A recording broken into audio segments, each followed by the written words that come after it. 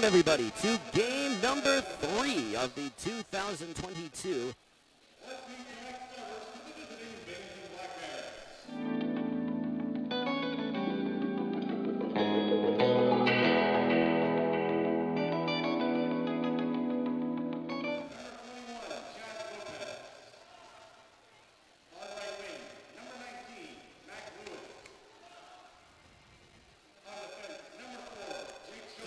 pleasant good evening to you all from the Danbury Ice Arena for what promises to be an enter.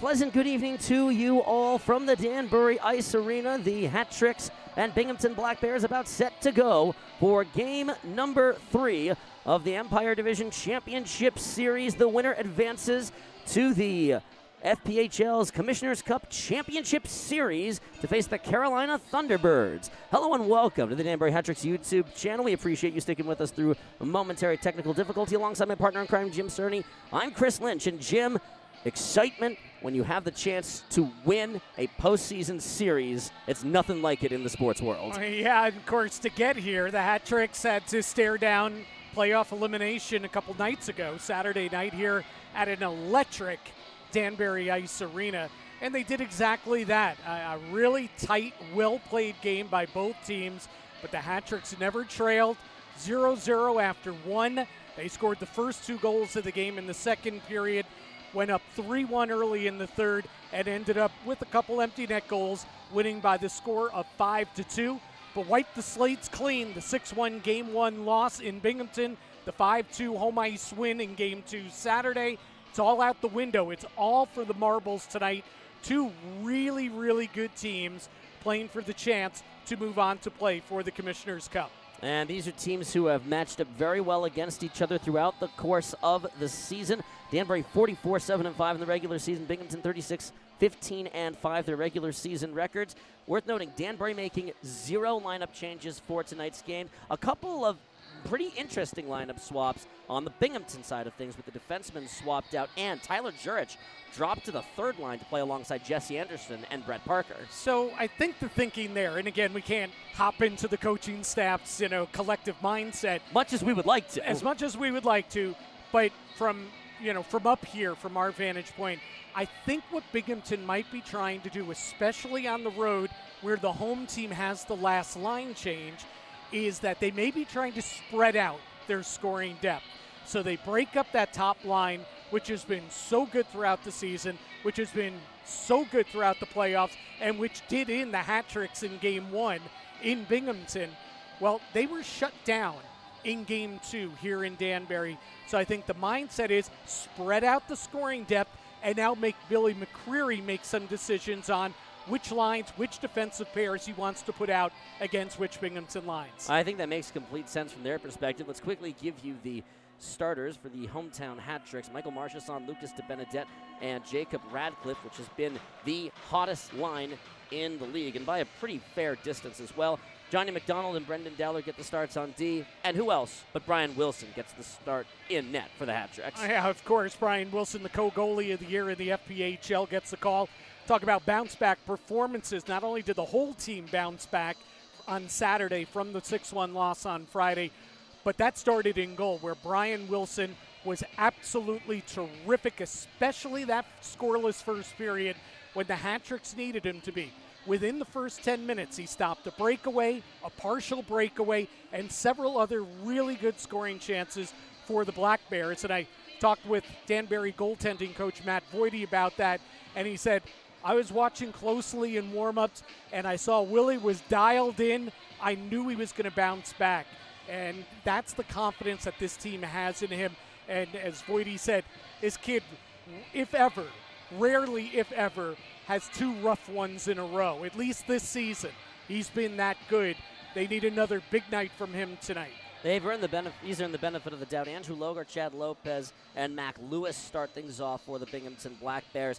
Lopez has been a problem for the Danbury Hat Tricks, to say the very least. Well, he's been a problem for everybody so far in the postseason. He's had himself a real nice start. He was a dominant player in the first round for for the Black Bears, and yeah, he's a tough, tough little guy to hold down. Though the Hat Tricks did a good job shutting him down, shutting down Tyler Jurich, shutting down uh, Maltby, shutting down Yates. A lot of their key guys were really held in check by the Hat Tricks uh, on Saturday.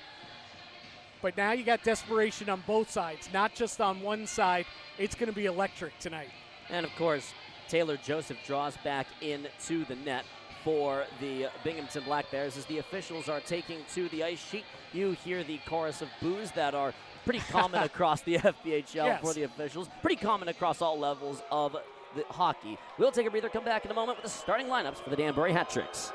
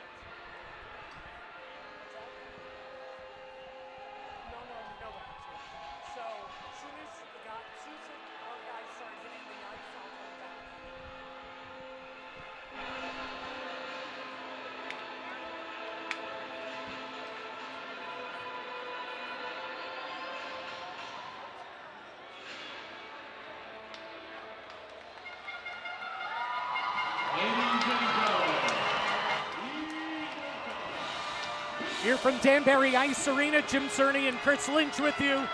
And the Danbury hat tricks to a standing ovation at the Danbury Ice Arena are taking the ice for the biggest game of the season. It is win or go home, an elimination game for both the Danbury Hat Tricks and the Bingham, Binghamton Black Bears. Game three of this best of three series. Binghamton winning the opener at home on Friday by the score of six to one. The hat tricks coming back, bouncing back on Saturday here at Danbury Ice Arena, winning 5 2. And tonight it's game three. Let's check out tonight's hat trick starters.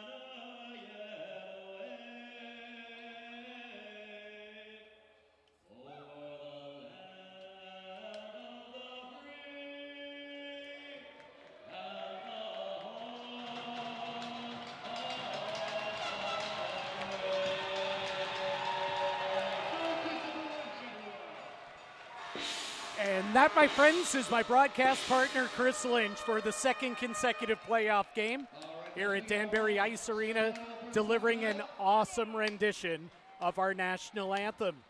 And we are just moments away from dropping the puck on a win or go home decisive game three between the Hat Tricks and the Binghamton Black Bears. Taylor Joseph is in goal to our right for Binghamton. They are dressed in their road whites, trimmed in green and black.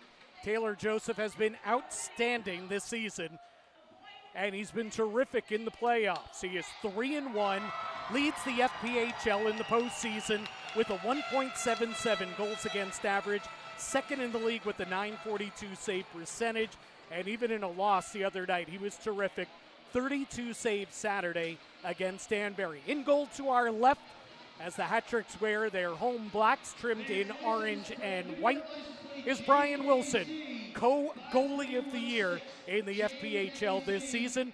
He's 3 and 1 in the postseason, a 276 goals against average, and a 911 save percentage. Of course, he set an FPHL record this season by winning 31 games, and he was second in the league with a 268 goals against and a 919 save percentage. We are set to drop the puck with the call. Here is Chris Lynch. Thank you so much, Jim. The Hat Tricks win the opening draw. The puck is dropped. We're underway from the Danbury Ice Arena. Long pass ahead to Benedette. will whack it in from the red line. This is the line that has performed at its peak late down the stretch of the season. Combined for game winners against Delaware in the game that secured the division regular season championship. Up and knocked down by Radcliffe, floated in, caught and played cleanly by an awaiting Don Olivieri, who moves up to the top pair alongside Jake Schultz. Pass ahead for Lopez, wanted Dowler. Dowler will gra- grab it and bring it around the wall. Kuznetsov tries to sneak ahead. Schultz got a stick on it. De Benedetta across underneath for Kuznetsov, played across the red line. Gathered and went ahead for a second and a hard hit thrown by Johnny McDonald. Tyson Kirkby, who cooked the hat tricks for breakfast, lunch, and dinner on Friday night in game one, gets crunched. The puck goes out of play, and we have our first stoppage of play. And as we touched on in the pregame, Chris, Hattrick's going with the same exact lineup. Why, why mess with a good thing? Same exact lineup as Saturday. Kyle Gonzalez again took warm ups tonight. However, he's not quite ready to return, possibly. Can get back in the lineup if the Hat Tricks win tonight, prolong their season, and head to the Commissioner's Cup final. But Gonzalez will sit out tonight for the fourth straight game. Winner of this game goes on to the Commissioner's Cup against the Carolina Thunderbirds. That's a point shot blocked by Gordy Bonnell to the far side corner. If Binghamton wins, they would begin the series in Binghamton. If Danbury wins, we would begin the series in Carolina. Yeah, Hat Tricks have home ice advantage throughout the entire postseason. Binghamton, the fourth seed of the four that made it to the respective division finals. All four of these teams capable of winning the Commissioner's Cup. As Columbus took Carolina to the brink, as Yates will glide in. Yates just is the pass, shot blocked by Wilson out of play, and Jared Yao gliding into the net as well to help make the stop on that. Oh boy, that is not what you want to see a minute 29 into the game. A prime scoring opportunity, a two on one against Brian Wilson. Great feed to Cam Yarwood, and Yarwood was trying to go right to that short side, and Wilson was able to get his toe on it, his skate on it, and I believe it also hit the outside of the post after it hit Wilson and then deflected up into the netting. Big stop by Brian Wilson to start this game. Sheehan on the draw with Anderson, who drops down to that third line. Shot long on. It'll go to the end boards. Tries the backhanded pass to Anderson. Pamela on to the boards. Tobias Ojic with the check. Ojic got one of the empty netters in last night's game. Two of them for Danbury. It really was a 3 2 game with the additional goals going in with the goaltender pull to make it look not as close as it actually was. Both those teams were capable of winning it as the puck will bounce into the wall, turned on net. Wilson with the stop may have also hit the side of the goal as well as this will be flown across neutral ice. Schultz gathers it, holds it in the circle, and passes it over the middle and connects it with Olivieri. Had a power play goal on Friday. McDonald, the pass hit by Ojic. This is going to turn into an icing, and that's a pretty obvious one at that. Officially, shots on goal 0 0. Officially, that's what it's uh, currently listed as. I know that they may have said that Yao may have gotten a piece on that breakaway, so it might have been a Yao stop instead of a Wilson shot, as I see Jim Cerny judging me for that was moment. that was a Brian Wilson toe save, sh- and yes. a heck of a one at that. It should be counted as such, and that'll get added up on the board, I'm sure, as Lewis tried to win it. Ojic gets to the loose puck, dipped it across to Benedette out there. They were in the middle of changing lines as Kuznetsov will hurl this on net. They'll get the rest of that line on the ice as intended. 2.35, the time gone by here in the first. Both these teams just kind of feeling each other out. Picked off by De Benedette, thrown to the slot. Marchesand couldn't get there in time. De Benedette has to wait for it. He's offside. And De Benedette starting to jostle after the whistle with Andrew Logar.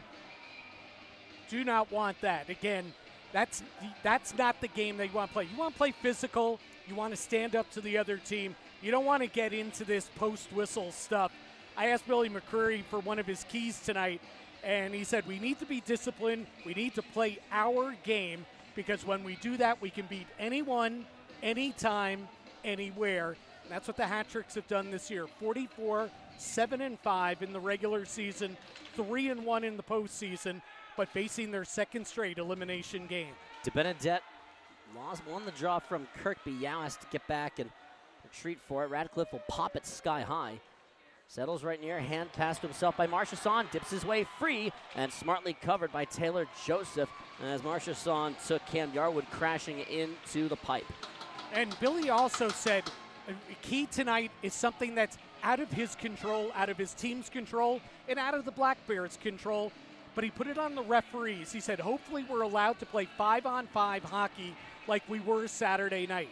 There were only a few power plays in that game on Saturday night, and the bulk of the game was played at five on five, and it was exciting to watch. It was great hockey, but the officials basically took themselves out of the game and let the guys play. And to their credit, both teams played themselves good, hard, clean game. And by the way, Danbury capitalized on the power plays. This is a chance in tight. They have scored. The net came off its moorings. Brian Wilson is going to argue this one, but I think the goaltender, I think this goal is going to count. It's 1 0 Binghamton. Three minutes and 14 seconds in. Justin Samaro, his first goal of the postseason, and he gets a big one off of a scramble rush to the net. And it looks like the referee is explaining it to Johnny Ruiz at center ice right now.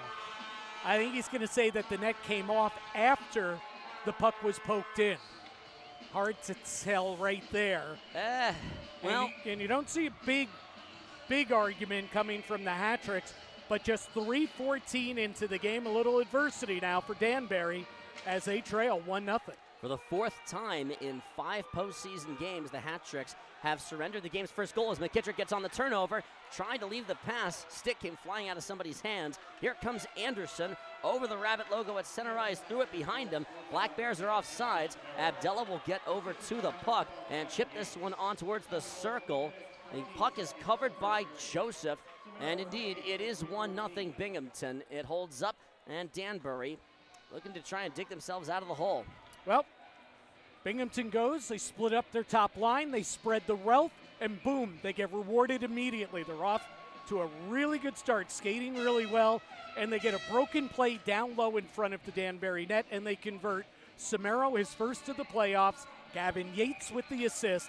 Goal at 3:14. So the hat tricks on Saturday never trailed. A lot of that game was tied, but they never trailed. Tonight they trail, and they trail early in a must-win game three. Yates, his sixth assist of the season, his seventh point of the postseason, I should say, as we have a two on two chance for Binghamton. Olivieri glides up shot, glove saved by Brian Wilson, and almost immediately after the goal went in, Wilson tested early.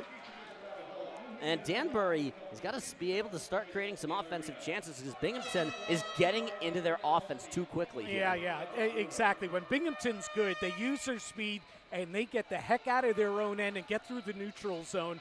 And that's where the hat tricks need to slow them down. Right now, a lot of juice on the Binghamton side. Danbury a little bit back on their heels. Pamelayan will bring it around for his deep partner Xavier Abdella. Pass ahead, kicks off Tobias Ojic. Grabs it at the red line, knocked down off the skate of Abdella. Needs the short pass, it goes to nobody. Colin Fitzgerald will ring this in off the end wall. Pamelayan will come over and pick up the loose puck. Dips his way across the middle. Ojic gliding on. Leaves it for Michael Falanga, skating as the extra forward again and earning a bunch of time in the last game on the top line. As Sheehan tried to create some space with a hit. This will find its way out to neutral ice. Pamelayan to Abdella. They'll pitchfork this on. It's off the wall, and they'll swap the D out. Knocked down by Abdella. Yao. Throw it forward for Michael Marchesson. Offsides are the hat tricks. They're going to say Radcliffe didn't get back across the line in time, and Binghamton doing everything to this point right. Yeah, again, it's early in the game, but this is the start that Binghamton's got to like. Not only getting the first goal, but they've had the better of the play in the offensive end. They've looked really good against the hat tricks, denying the hat tricks entries, and Danbury's been offside a few times already. Puck low to the wall. Marchesson the check on Schultz. That's a big man that he knocked down. De Benedette to lose puck in front. Marchesson wants it. Second chance at it. And Joseph will cover it. Two in tight shots by Michael Marchesson. And both of them stopped by Taylor Joseph. Well, Michael Marchesson got the hat tricks off and running in the second period in game two on Saturday. When he scored, he was held off the score sheet in game one, but he had a goal and an assist and he has nine points in the postseason, tied for the postseason lead in the FPHL. Five of those points are goals. He has been a dominant force for much of this regular season, and it has increased during the postseason as Yarwood is back on the puck. De Benedette waves at it. Riley Robertson, who had an assist in Saturday night's game, will settle this down. Pass for De Benedette. Threw it behind him. It got tipped on his Yeah. intended Good target. stick again by Binghamton.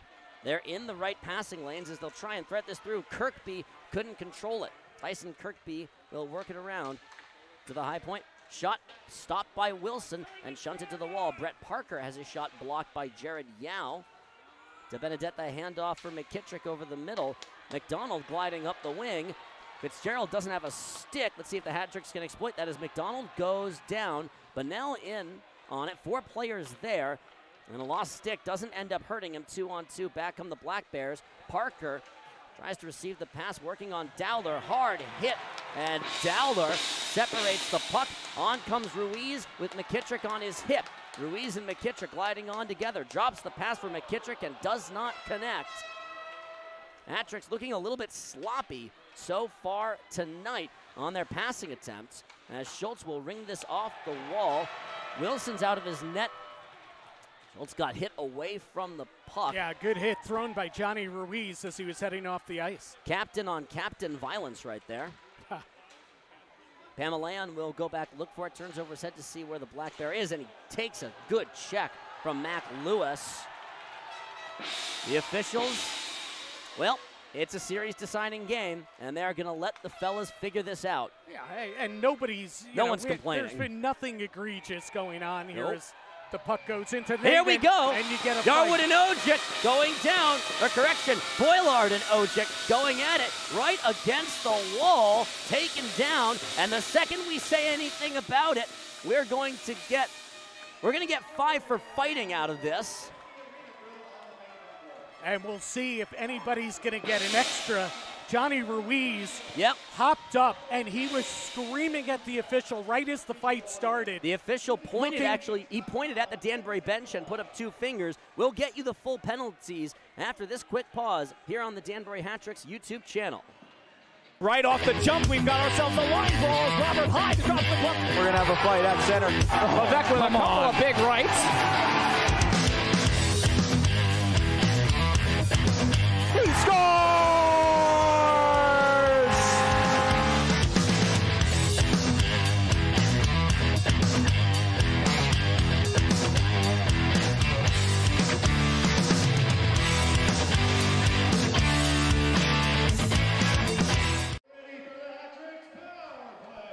Well, TK's American Cafe on White Street in Danbury. You can stop by to TK, uh, stop by TK's to try one of their 76 amazing wings flavors.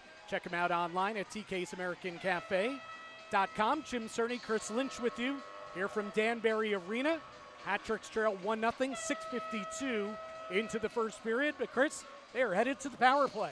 The ruling is matching fighting majors, five for fighting against Tobias Ojic and Matthew Boilard. Gavin Yates is serving a two-minute infraction. I'm not sure if that's No, on an he's- instigator. he's serving the He- yeah, he's instigator. serving the instigator penalty by Boilard. So the Hat Tricks, whose power play has been clicking in this postseason, and have gotten power play goals each of the last three games, will go to work down one nothing, looking to tie things up. As Johnny Ruiz will dish it to his left for Pamelayan, who will ring it around the wall. Joseph can't control it. It skipped on the apron of the goal. Loose puck to Radcliffe at the point. Pamelayan will look to put it on net. Wanted the tip. Bounces, and Marchesson tried to control it. It'll come out and over the blue line. And the Hattrick's power play has come alive in the postseason. 38.5%. They lead at the FPHL in the postseason in power play, 5 for 13. Oh, here's a chance for Don Olivieri. Broke it up, lines up for the fake shot, now takes it, and Wilson will put it in his mitt as we continue to get some pushing and shoving. Olivieri having to be separated, one extra shove to Zach Pamelayan, and the official tells Olivieri to stop. Actually, ran Olivieri accidentally into Pamelayan himself. Boy, look at it. He's hot. He is he's- hot. Yeah, he's really hot. He's fired up. I thought he was a Binghamton Black Bear that really stood out in game two on Saturday. I thought he played really, really well. and a good play here. Shorthanded, one against two, gets a shot on net, then gets to the net so Wilson can't play the puck. So now the faceoff is on the Danbury at, at the Danbury end of the rink while- with them on the power play. So really good job by Olivieri. By the way, my least favorite thing that you just Oh. saw there, the fake face-off. The worst. I hate that. Please just drop the puck. at, at any level of hockey, I dislike that. Face-off won by Sheehan. Second power play unit on the ice for Danbury. McDonald, Sheehan, Dowler, Bennell, and De Benedette. Sneaks in behind the defense. Bennell wanted it across for De Benedette, and it got tipped away. Binghamton has their sticks in the right spot to tip these. McDonald winds up. Bennell stepping into some space. Shot save made. Big rebound bounces to the circle. Sheehan creates some space. Throws it across. Bennell winds up. McDonald at the top. Looks for the redirect shot. Knocked down and cleared away by Parker with 35 seconds of power play time left to go. Danbury getting their looks, but unable to finish them off. I like that. I like Binghamton, what they're doing. You mentioned their sticks, even strength and power play. Their sticks and bodies have been in the right position. Belanga threw a check. Throws it around the dasher. Sheehan will keep this on. Sheehan and Dowler will work it to the opposite side. Needs somebody to fill that space. McDonald does that for a moment, but that's going to kill off the remainder of this power play. It's a little bit behind Kirkby. Maybe one last chance on the rush. Falanga tried to get behind the outstretched stick of Justin Samaro, the goal scorer for the Black Bears, as this will find its way into Danbury's defensive end. Abdella holds it. Sheehan dishes to Falanga. Falanga nearly has his pocket picked, runs to the red line, holds onto the puck well. It's got a lot of strength for not a large man. Ruiz gets the loose puck. Ruiz shot stopped by Joseph. Ruiz went down hard, but no penalty called on that. That one never got through. That was Schultz, Yeah, the captain who went in and ate rubber in front of his goalie. good block by the captain as De Benedette, or sorry, McKittrick got over to it. Marchesson tried to separate him from the puck. Loose. McKittrick's on it. Hands off for Marchesson. Wides in. Shot. Scores! Michael Marchesson. Goal number six of the playoffs. His 10th point. And Danbury has tied the game and sent the home crowd into a frenzy. Binghamton hasn't made many mistakes in this first period. They made a big one right there. A turnover just outside their own blue line. And then the Hattricks turned it back the other way, and Michael Marchesson accepted the pass, went in all alone on left wing, and he is able to beat Joseph one on one. And he is now tied with Peter Panachek of, of uh, Carolina with six goals so far in the postseason. A huge goal for Marchesson, and we're tied 1 1. Pamelayan will flip this over the middle. Marchesson has been the most dynamic player for the hat tricks. Here's a chance for Binghamton. Shot blocked to the wall. Andrew Logar, who drew into the top spot, skated as one of the extra forwards last night as Marchesson will put it off the glass. Settled by Yarwood and across to his left for Colin Fitzgerald. Under 10 minutes to go in the first. 1 1. They'll walk this in. Looks for a play. Tried the wraparound. Wilson smartly will just put his glove on top of the puck. And we'll take a breather. Come back in a moment from the Danbury Ice Arena. Here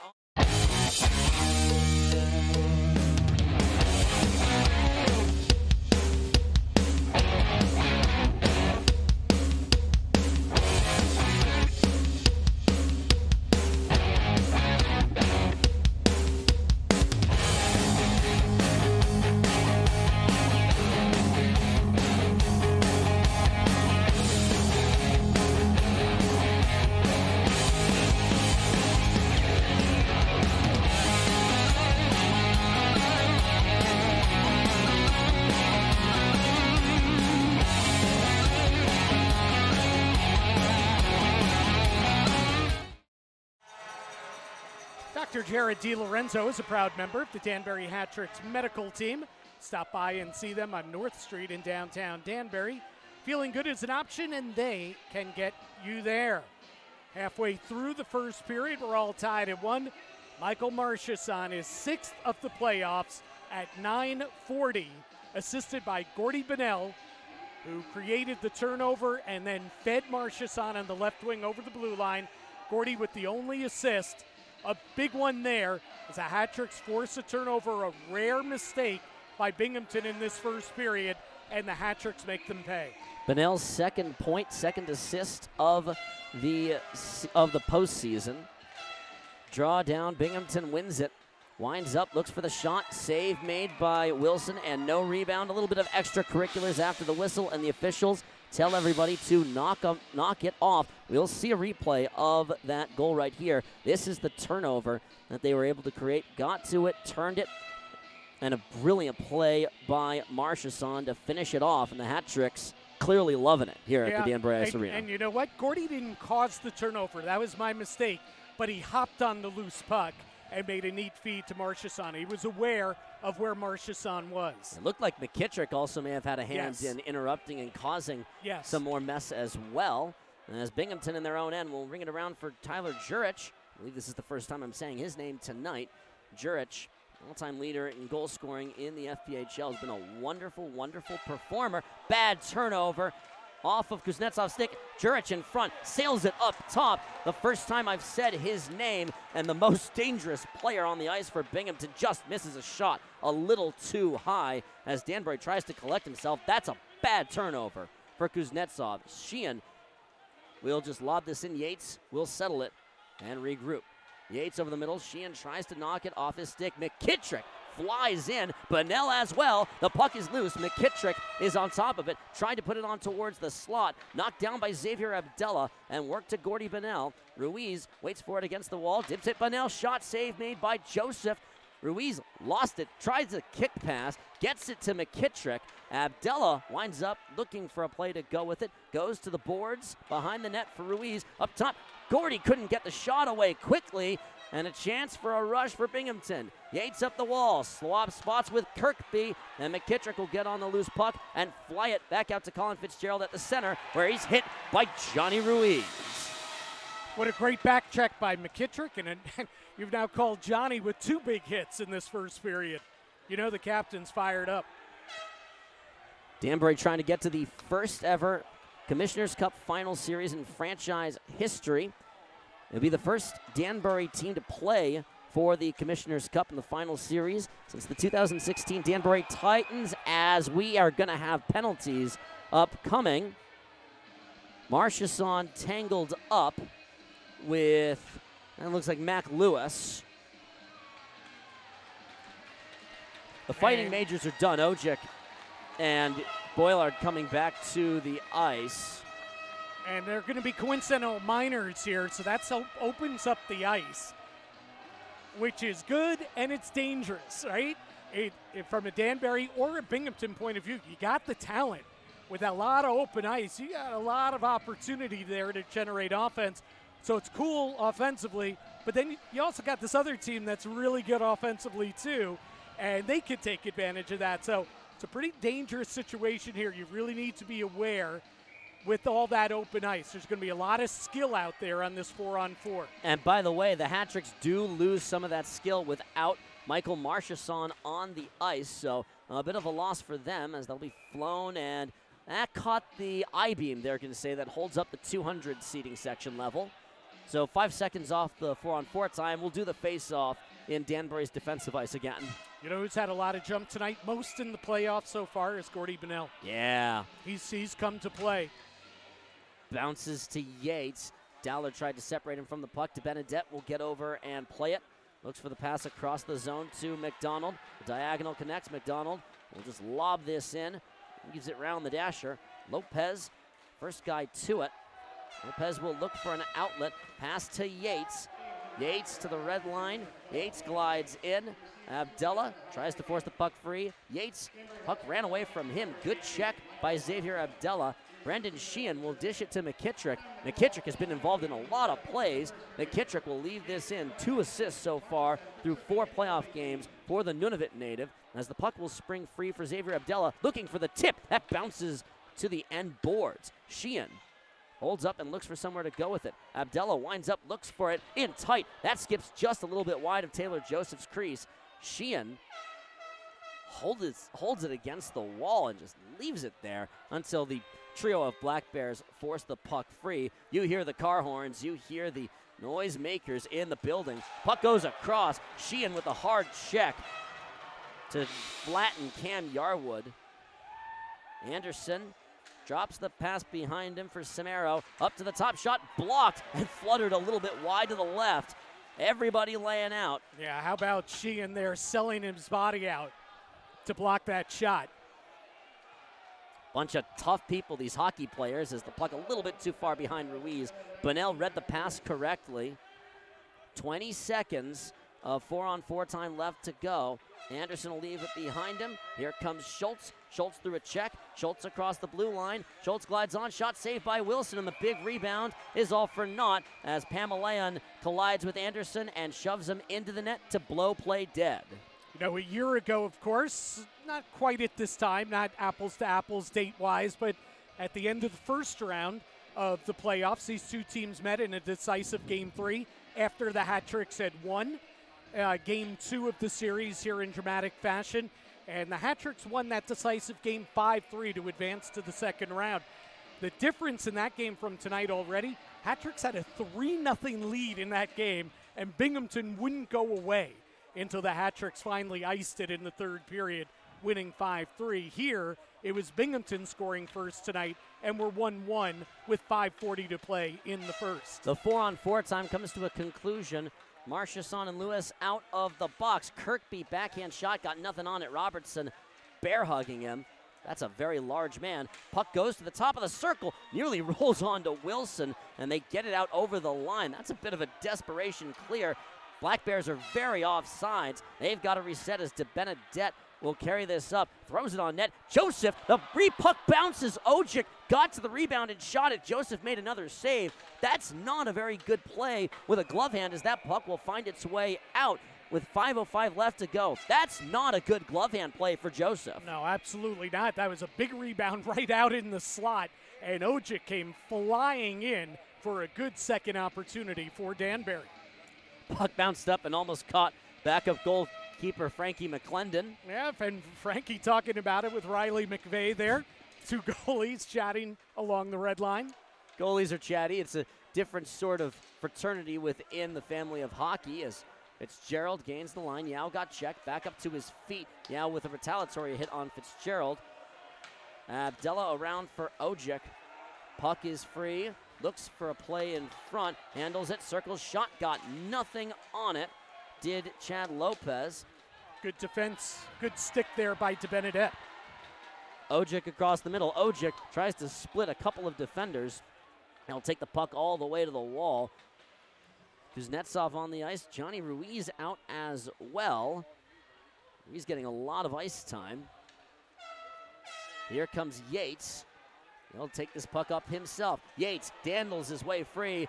Gonna get a penalty here against the Hat Tricks. Heading off to the uh, to the bench and looking for a play in front as this will be knocked down. We'll take the under five media timeout. Tied to the goal apiece. Binghamton about to head to the power play here on the Danbury Hat Tricks YouTube channel.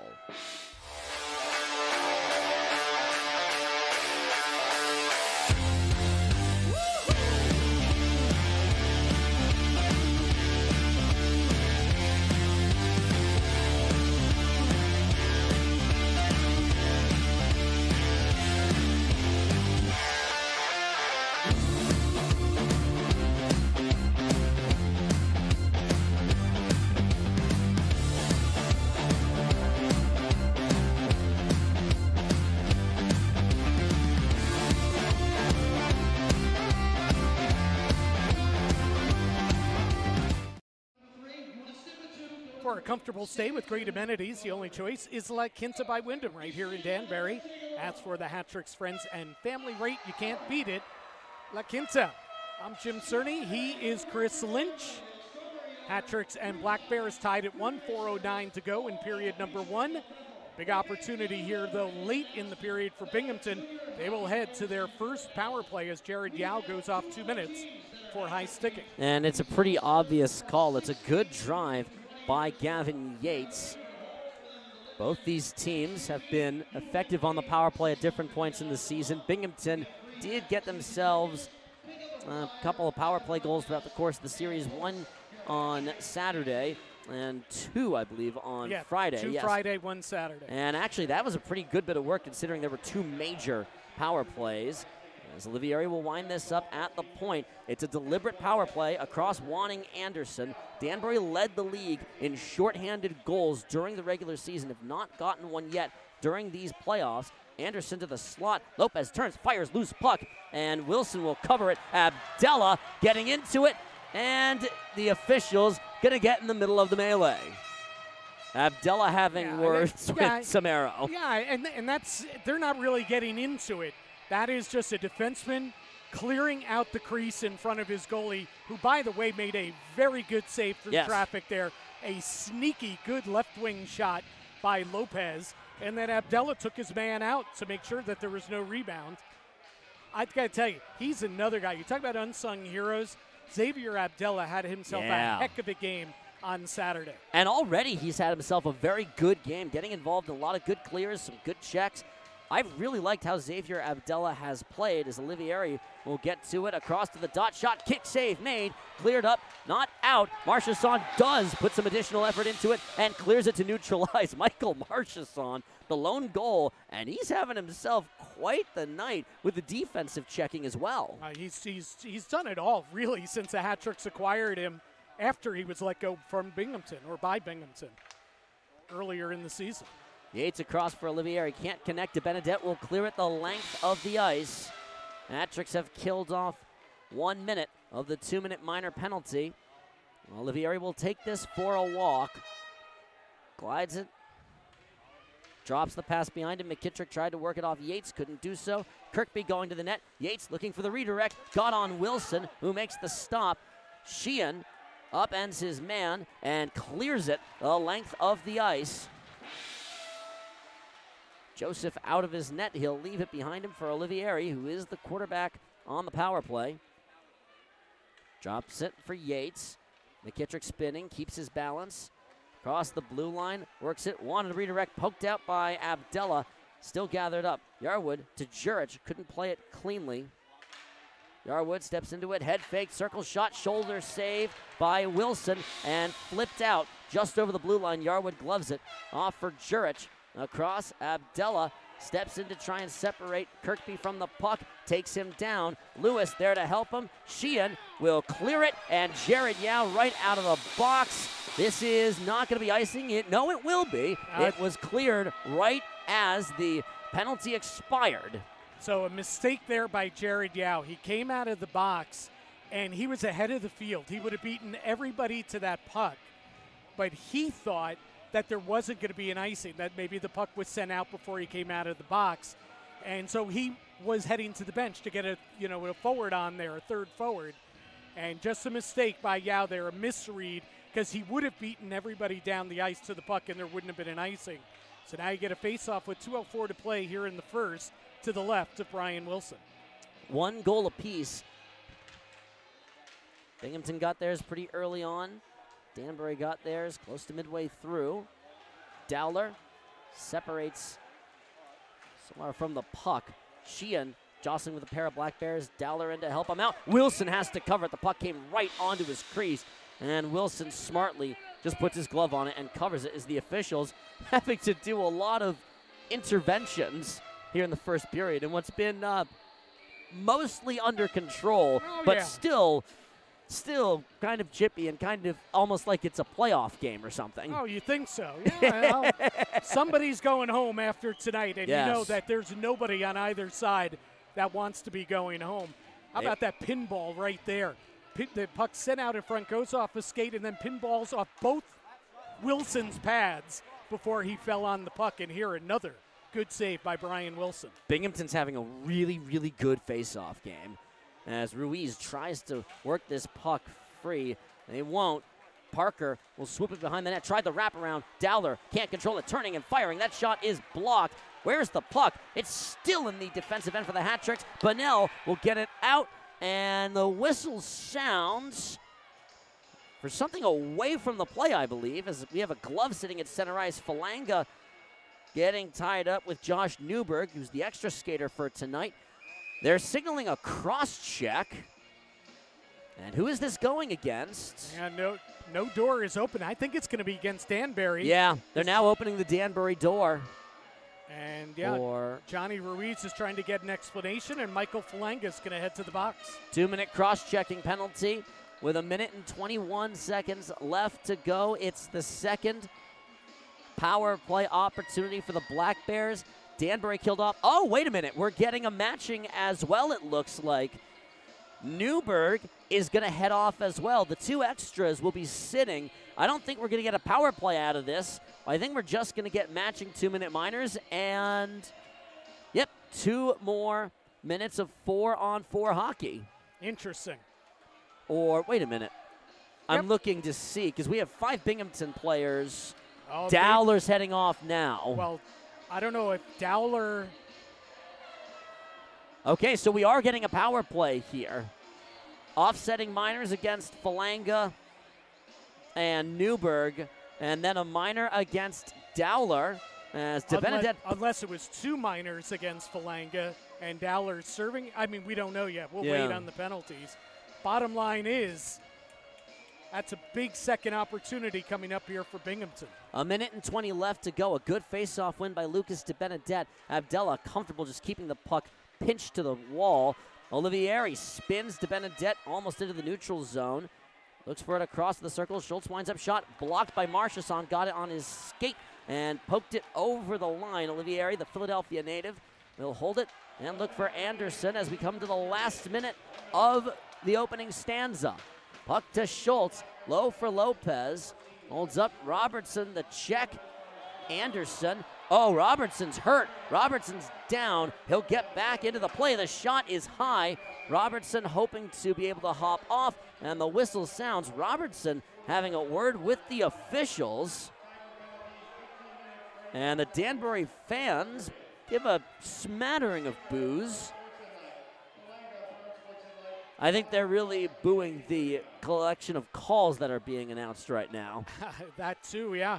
I, I did not see what happened behind the net, behind the play to Robertson, but boy, he was in some distress. He's off the ice now.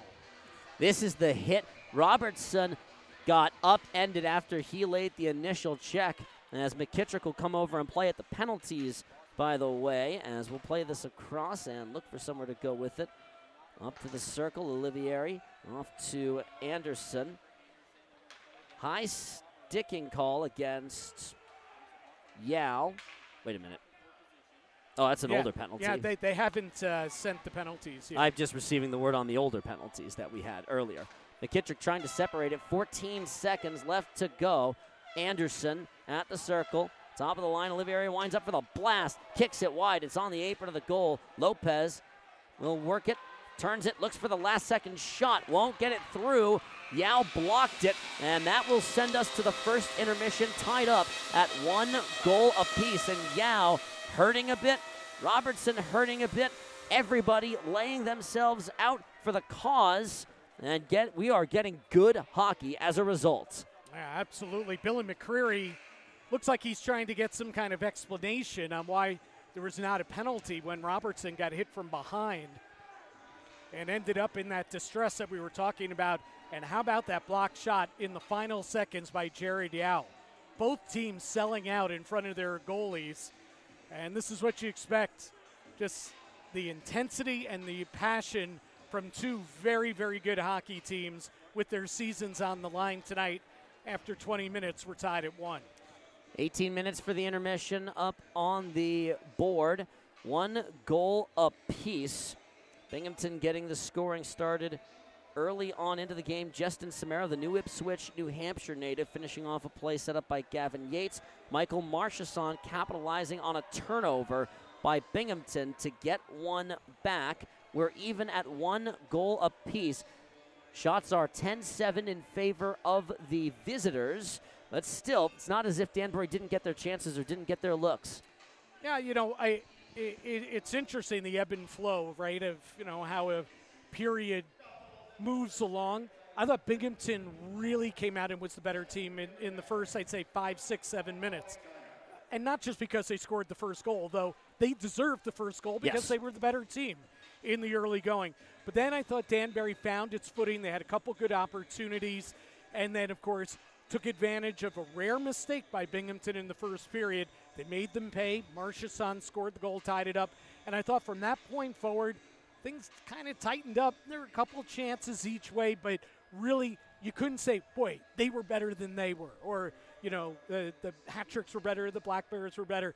It was pretty much even that second half of the first period. And this is kind of what I expected a good, tight checking hockey game with good goaltending, and mistakes are going to are going to be the difference. Maybe special teams will be a difference, but it's probably going to come down to who makes the big mistake and who capitalizes on it. Again, the winner goes on to the Commissioners Cup Championship Series. The Carolina Thunderbirds beat the Columbus River Dragons 4 to 3 with an excellent comeback effort by Columbus falling just slightly short.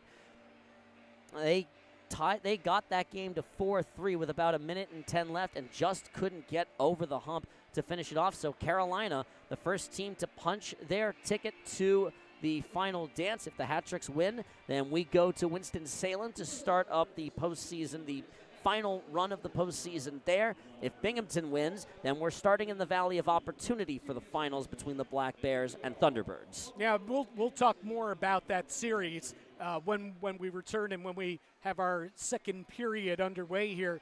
But we'll talk a little bit more about Carolina Columbus because that was one heck of a series. Few other intermission notes. Quick pause. Back in a moment from the Danbury Ice Arena.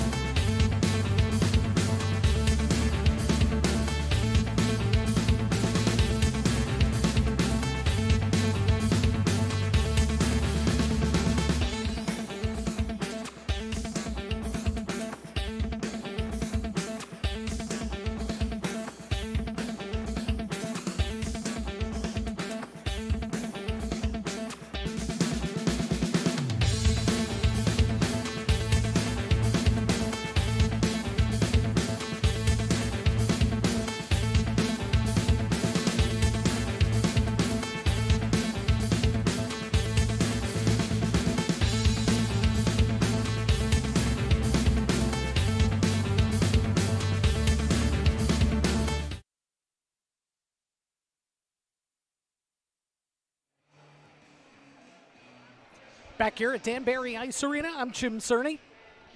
Hat Tricks and Black Bears tied at one as we're in the first intermission, game three of the second round of the postseason. And our Chris Lynch had a chance to catch up with tonight's goal scorer for the Hat Tricks, Michael Marchesson. First intermission, tied at one goal apiece. I'm here with Michael Marchesson, who got the first goal for the Danbury Hat Tricks. And let's talk about that goal and how that play developed and what you saw as it unfolded. Uh, I just hopped off the bench and uh, they were in a change and we turned pucks over very nicely the last game too and I think we did a good job of that, that first period transition.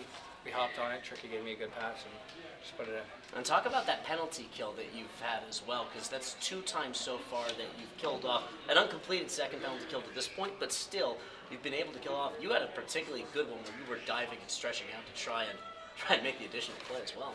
Yeah, you got to do that in playoffs. You got to lay your, put your body on the line. Like I'd sacrifice anything for these boys. I'm sure they do the exact same thing. So we're a family like that. We're gonna stick like that. What's the mood of the team going into the second period? Hungry. Want to be better. Got to be better than that, but we're gonna do it. Second period on the way. Marchesson, thanks for coming on. Appreciate it. And that is Chris Lynch with Michael Marchesson. Marchesson scored at 9:40 of that first period and brought the hat tricks even at one apiece. In this one, have a couple scoring changes. The first goal was Samero for Binghamton at 3:14. Yates got the primary assist, but a secondary assist has been added to Colin Fitzgerald. And at 9:40, Marchesson his sixth of the postseason. Gordy Bennell originally was given the lone assist. He keeps his assist, but Daniel McKittrick has now been uh, given a secondary assist there. And as Chris rejoins me here in the booth, Chris, you you were right on it when you said McKittrick is the one who hounded the Black Bear forward at center ice and caused the turnover.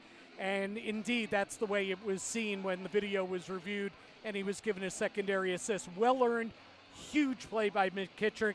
Great look by Bennell, and an even better finish by Marchesson. And that's where we are, 1 1 after one.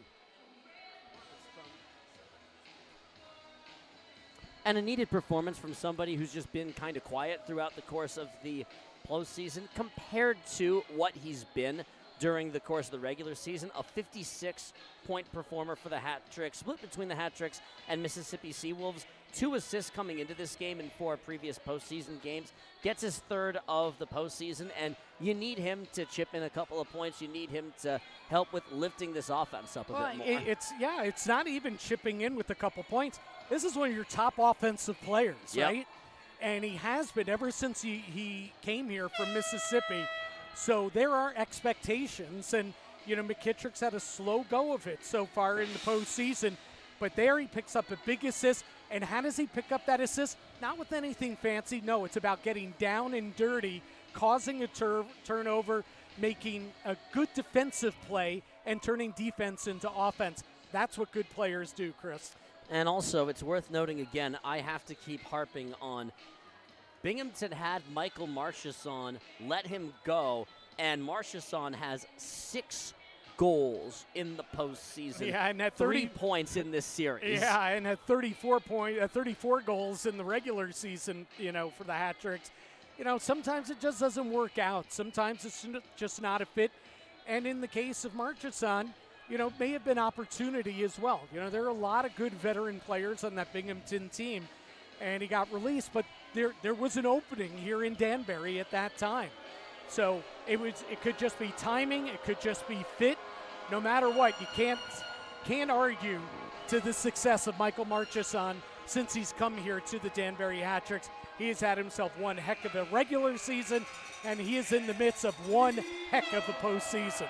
Binghamton has come back onto the ice. Danbury returning. You see some of the Black Bear fans who made the trip out here from the Valley of Opportunity, called so because point in the Great Depression, it was actually a hub of an awful lot of commerce and great work opportunities. I think IBM was founded not that far away from Binghamton, New York, and Lockheed Martin has an office out there as well. I got the opportunity to go out there and call the game in Binghamton. Jim, you've been out there in that building many times doing AHL games. That building is a good, high quality professional hockey building, and they have a long time and very loyal fan base in Binghamton. Yeah, great fan base in Binghamton. And, and all the power to them. They, they were here in game two. They showed up in droves here on Saturday night in Danbury. And tonight, you know, not as many fans. It's a Monday night, it's a school night. Still, it's a great vibe, really good crowd tonight. Just a few fewer Binghamton Black Bear fans tonight in attendance. A little tougher to do it on a weeknight. Well, the people who are into it are just as lively as the puck will find its way down. It's dropped. We're underway. 30 seconds left of power play time for Binghamton to try and reclaim their lead.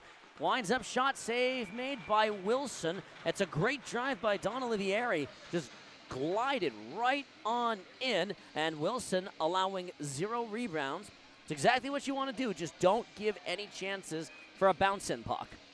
What you didn't like there is that the hat tricks just backed up, backed up, backed up, and Olivieri took advantage of the opportunity and got a good scoring chance. To the slot turning, Lopez shot is blocked by Yao and knocked straight upstairs.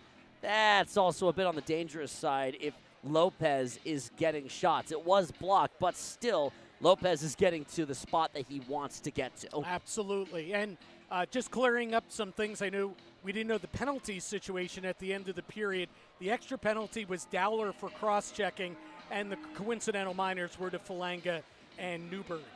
Both for unsportsmanlike conduct. They're actually four minute penalties. Yes. So they'll be sitting out for a good long while. So means they're going to be fresh when they get out. Winds up for the blast. That's just why. That's a cannon shot by Olivieri. Bounced out by Johnny Ruiz. He'll try and take the puck away underneath. Gordy Bennell's stick had the right idea, just couldn't quite connect. It's a good penalty kill ultimately with a couple of dangerous chances. Hat tricks two for two on the kill tonight. Robertson shielding against Lopez across for his D partner McDonald looking for the long outlet. This is icing. That wasn't a very good decision by Johnny McDonald. It wasn't, but what a smart veteran uh, play there by Yarwood, who is a Yeah. veteran, because he the puck was coming right to him, or at least to his stick area. So what does he do, Chris? He lifts his stick up and he lets the puck zip on by, and that ends up being an icing where he could have easily just picked off the pass. Now they get the face off to the right of Brian Wilson. Smart play by Cam Yarwood. 102 into the second period, tied up at one goal apiece. It's been as even and as tightly contested as you would hope. McKittrick blocks the shot and slaloms through the neutral zone. Tries to get through Fitzgerald. Puck is contested. Fitzgerald to go back and get it. Fitzgerald holding, looking for the pass along the wall. Over Sheehan stick through Jared Yao. Now with it, Kuznetsov dips it, drops it. Poor decision. Kuznetsov will wave his stick at the play. Puck bounces onto the crease and covered up by Brian Wilson. A couple of real sloppy mistakes, and so far, Brian Wilson is keeping this game tied. Yeah, and, and again, it didn't lead to a great scoring opportunity for Binghamton, but it sure could have, Yeah. right? You know, Kuznetsov's got to be a little, a little bit more uh, firm in making his decision there. It's like he got caught in between. Do I want to do this? Do I want to do that? Uh, and then the puck slipped off his stick. Contested faceoff. Ojic Oh, flies it a- out. Oh, But did it hit his stick? It did not. it just flew straight out. Yeah, that's going to be a delay of game penalty, and Binghamton will get their third consecutive power play. That's a mistake. Tobias Ojic is going to be serving the two minute infraction. He just flew it clean out. And that's not a penalty in which there is any opportunity for distinction or exception. You have to call it as such. And Danbury, two for two on the penalty kills so far. You got to be careful with all these penalties that Binghamton is getting as Yarwood will play it to the circle. Kirkby into the slot, turning. Yates couldn't do any more with it. Fell down before the stick got it away, and this is going to be blown dead for Oh, a no. high stick. I thought it was going to be for a hand pass. Yeah, You I thought it was well. a hi- yeah, I thought it was a hand pass. That puck was bouncing all over the place there. Yarwood was coming over to have a chat with the officials, and what's happening here? Are we lining up for a play in face-off in neutralize? Oh, you know what? It's a.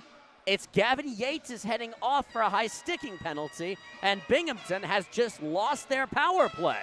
Yeah, you and I thought that the official was signaling that the puck was hit with a high stick. No. But instead, it's a high sticking penalty. And boy, there's a break for Danbury.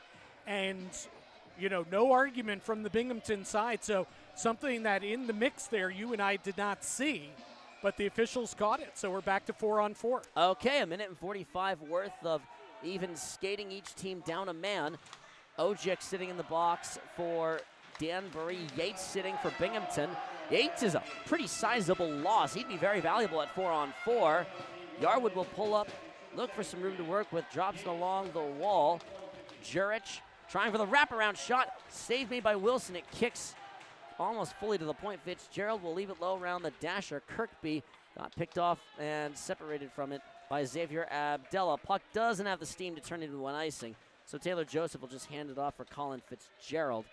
Fitzgerald dips around Ruiz, glides over the red line, gets to the circle, drops the pass to Kirkby.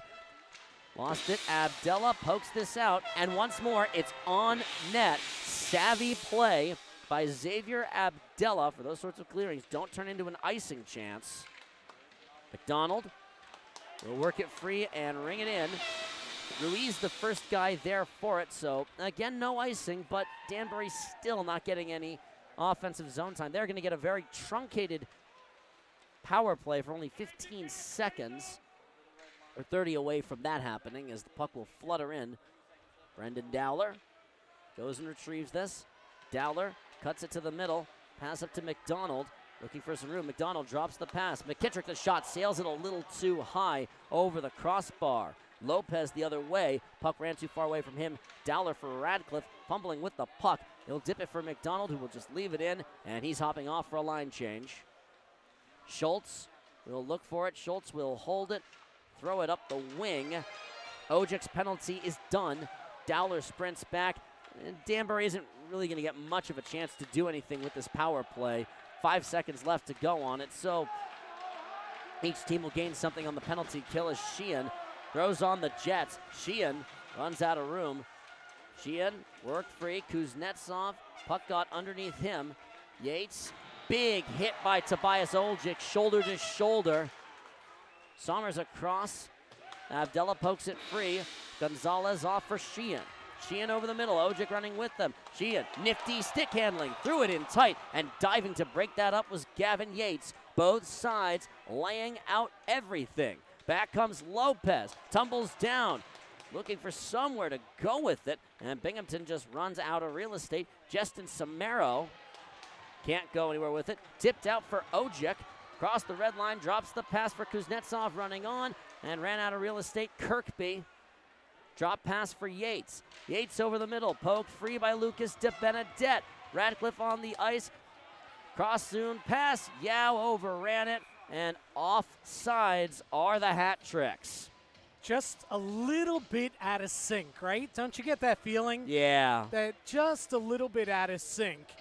And that, you know, right now the hat tricks are in a 1 1 game. They're in their home arena, but just a little bit out of sync. Still, you know, looking to find their mojo here in their best game. And part of that is Binghamton's done such a good job, you know, especially through the neutral zone. But yeah, Danbury's still trying to find their best game. And I was just thinking here is, you know, we're about five minutes into the second period. Taylor Joseph has not had to do a lot in goal for Binghamton just yet. Meanwhile, Brian Wilson has had to do a fair bit at his end. Radcliffe tries to knock this down. Radcliffe Marchesson gliding in. Marchesson. Bird to Benedette to Benedette in tight. Puck loose in the crease, and Binghamton will come away with it. Flown over the middle. Robertson sprinting back for it. It's just barely wide of Wilson for the icing. That takes us to the under 15 media timeout. Tied at one apiece. We'll take a breather here on the Danbury Hat Tricks YouTube channel.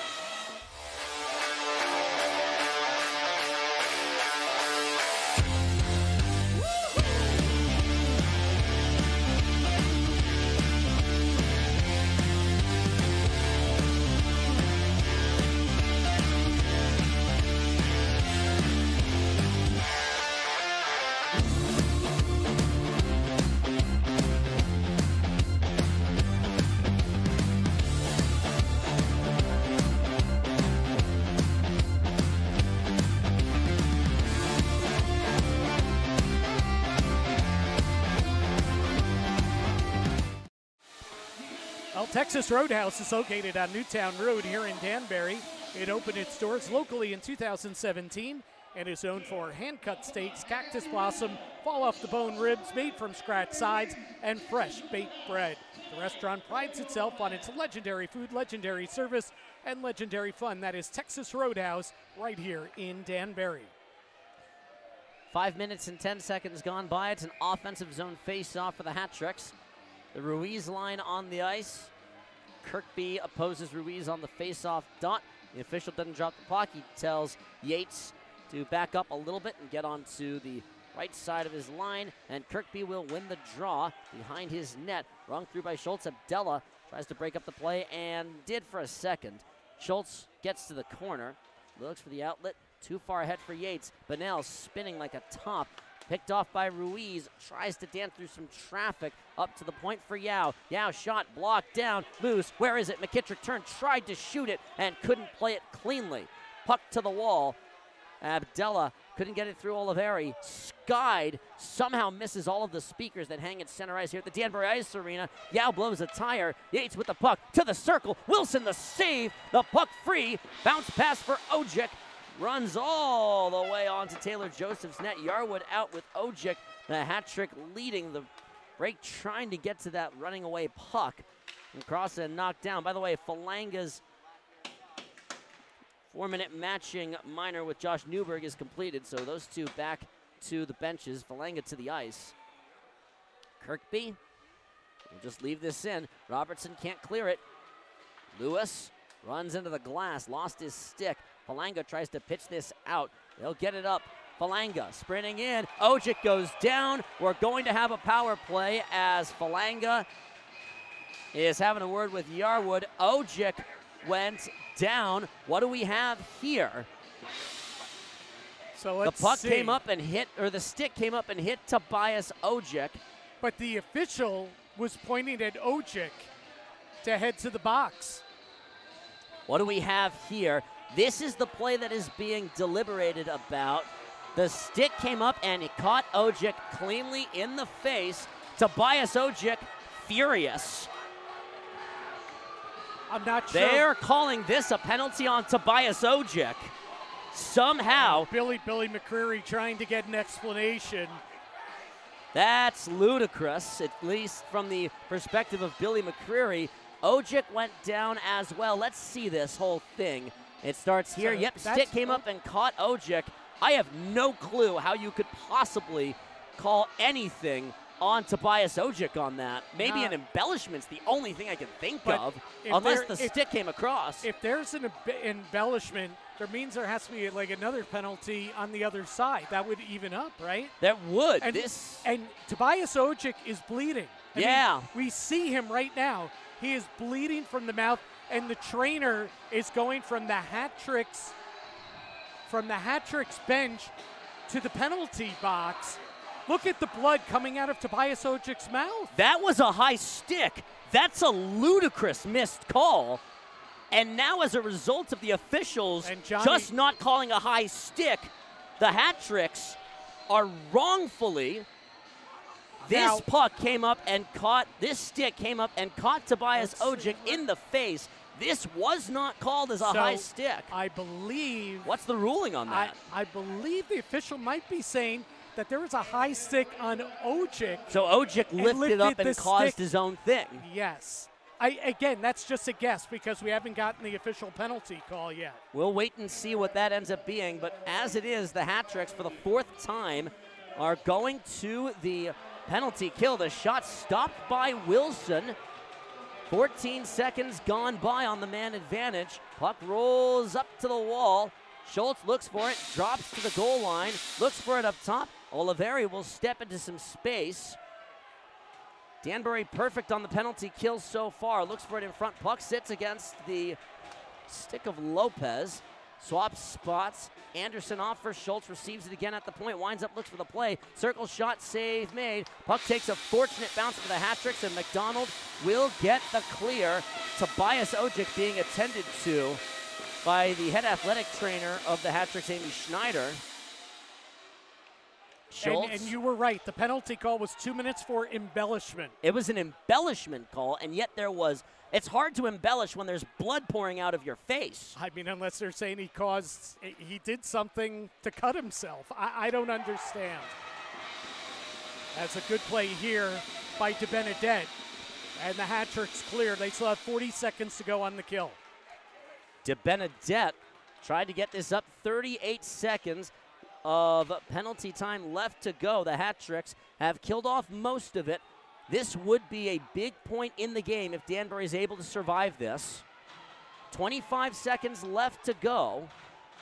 De Benedette pinching, tries for the clear, kept in by Yates, drags through. Gjurich drags, turns, and Wilson puts it in his mitt to keep it tied at one apiece. And we get some extracurriculars after the whistle. What a save by Brian Wilson. Hat tricks couldn't clear the puck. They were looking tired in their own end.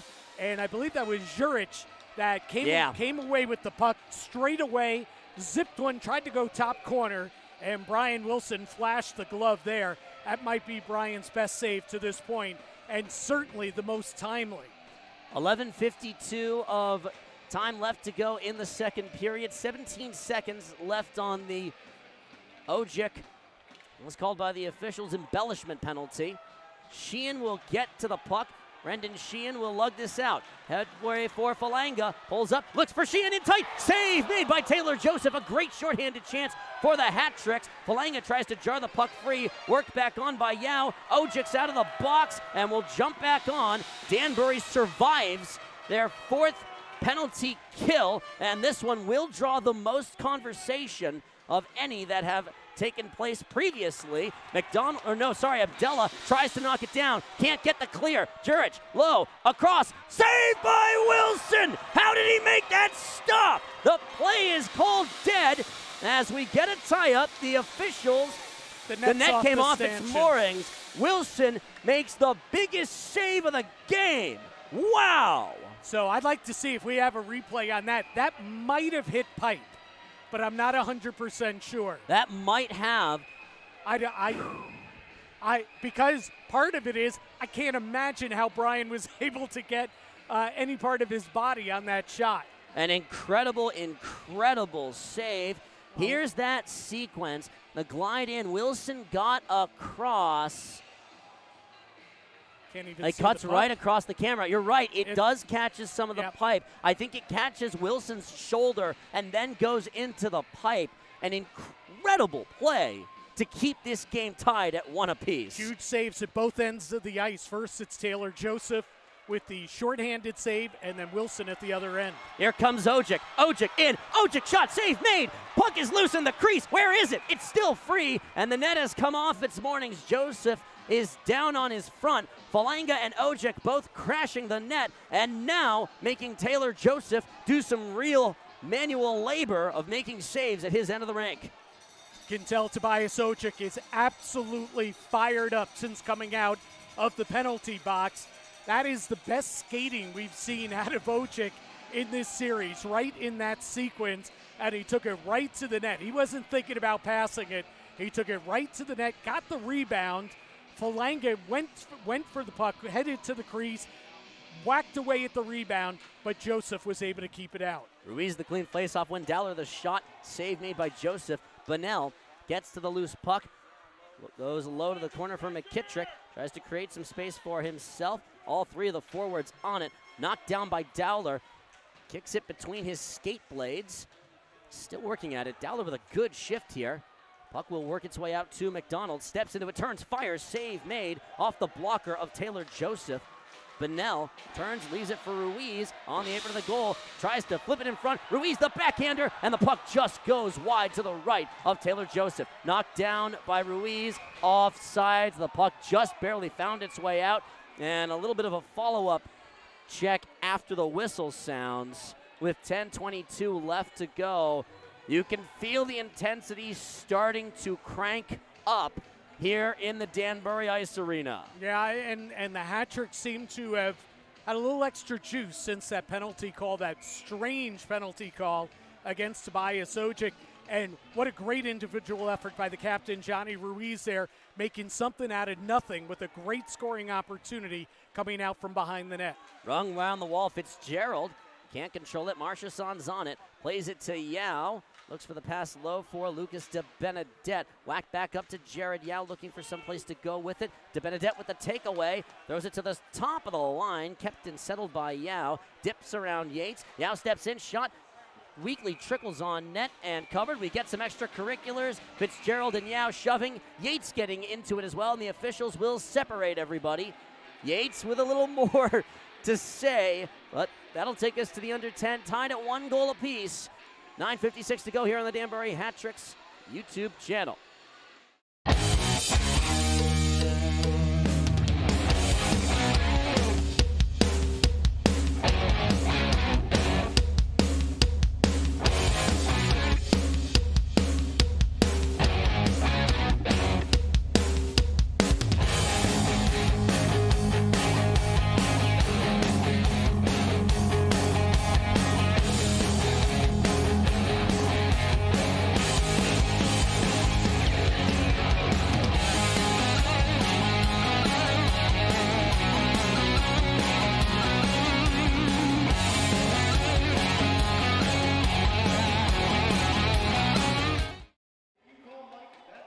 Peachwave of Bethel is located on Greenwood Avenue in Bethel.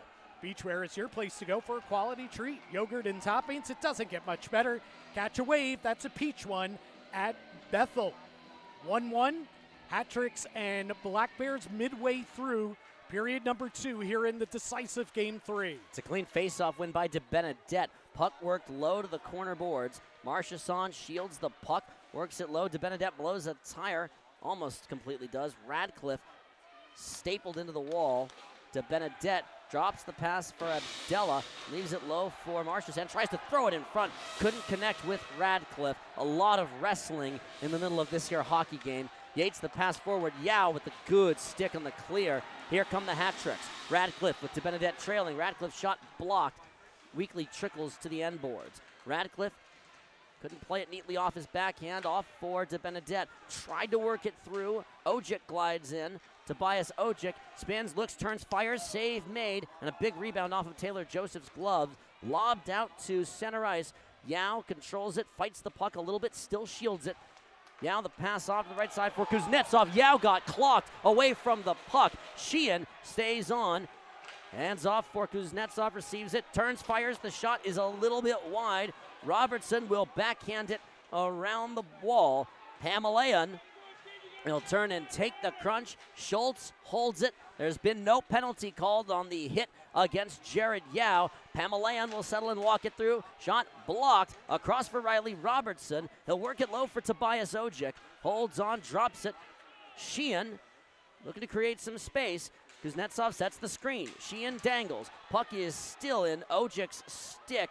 No penalty called out of all of this. Robertson and Ojic looking to keep this puck here. Up top, Sheehan steps into a shot off the, oh, almost kicked on off of Tyson Kirkby's stick. This will be flown over the middle. Robertson will settle it. 8.05 to go. Hat tricks being able to keep this puck at this end. Off to Gjurich at the opposite blue line. Tyler Gjurich glides in. Pamelayan with a good couple of pokes to jar the puck free. Puck forward for Daniel McKittrick. Glides on. McKittrick drops it. Bennell. Oh, lost the handle a little too fancy on the puck, running too far away from him. Knocked in. Bennell and Ruiz trying to keep it in. McKittrick will get over to the loose puck and ring it deep for the captain. Taylor Joseph out of his net, fumbles the puck. It's loose, and no hat trick is there to get on top of it with a glorious chance. Fitzgerald will leave it in. 7.27 left to go. We're even at a goal apiece. McDonald off the boards and up to the red line. There is a lot of action here at the Danbury Ice Arena. Parker nearly blows a tire. That shot kicks a little bit dangerously, and Brian Wilson smartly will cover that, and we get a moment to breathe. This is a hit on Yao, got rid of it. Oh. This was not called a penalty. So I, I don't know that we're going to get a chance to see it again there. That, that's my first clean look at it. Live, I only saw it out of the, you know the corner Yeah. of my eye. It looks like there that could have been a knee to knee. That right? could have. That's why I like to see it again. Yeah. Yao was spun around like a top, and he was slow to get off. He crawled off the ice, and we have not seen him back on the ice since. 7.05 left to go. Gjurich will play this up to the point. Turn shot, knocked down. Marchesson, I think Wilson got a bit lucky. I don't think he saw that. Radcliffe glides in to Benedette to the corner, turns, tries to play it in front, up to the point. Robertson the shot, knuckles it on. Marchesson tries to get it through some traffic. Radcliffe turns, can't get a shot cleanly away. Binghamton packing in the middle of the ice, and Danbury has been unable to get a number of clean chances as this is an icing call against Binghamton. Yeah, so you're you're spot on. Boy, are are they good at packing it in tonight, right? And they have not been caught except on the goal. They have not been caught on odd man rushes.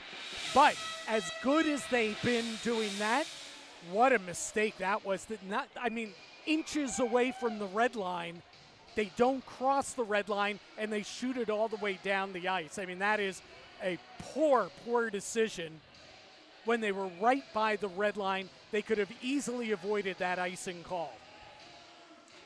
Sheehan will take the face-off against Anderson. They tell Brett Parker to back up. Gjurich stepping into it. It's a pretty clean win for Anderson. Puck to the corner, and we get a whistle. So it hit his stick. Ah, it, it tipped went out. up over the glass and then, Gotcha. then came out. Okay, so And- that'll be Good news is that Jared Yao is back on the ice. that's good to see. So hopefully none the worse for wear. Probably just a little bit on the my body is going to be sore tomorrow side Yeah, of things. And again, it, it was hard to tell on the replay. It could have been just an absolutely terrific check, or it could have been closer to knee on knee. We really can't tell. Ojic behind the net. Ojic, uh, Abdella on loose puck. Good save by Taylor Joseph. Falanga gets knocked down. Can't get the clear. Ojic shields with it. Abdella tries to knock it down. Tobias Ojic couldn't knock it free. Ojic will take it, muscles through some Black Bears. Ojic tries to create some space. Falanga lets the puck settle. Falanga creates some space. Shot blocked. Yates got in the way of it. Sheehan accidentally caught Yao up a little bit high. Falanga turns, looks to play to the point. Sheehan the shot off the pipe. How did that not go in? How did that not go in? Abdella to, off the crossbar. A glorious chance that just barely stayed out. Abdella catches it, plays it for Bennell. Bennell will leave it for Falanga. Taylor Joseph is ludicrously lucky. Ruiz tries to play it on for Falanga. McDonald at the point, turn shot, blocked down. That's the best chance the hat tricks have had through the course of the game. Sheehan just absolutely cranking up a one timer there from inside the blue line. I got to tell you, by my angle, it looked like it was up underneath the crossbar and out. It looked like it could have been, but Well, not we'll- ruled as such. Yeah, we'll get the replay. Obviously, there are no replays in this league. McDonald on the loose puck at the circle. 5.05 left to be played in the second period. No goals so far. Not that there hasn't been stuff to happen or stuff going on in this frame. Up the wing comes Lopez. Glides to create some space. Shot on, blocked, and finds its way somehow around the 200 section level. De Benedette sprints in, gets to the loose puck. Needs somewhere to throw it. Threw it on net. McDonald, the puck skips underneath his stick. Marchesson, De Benedette turning, turns to the high slot shot, just a little bit wide. This building is on edge right now.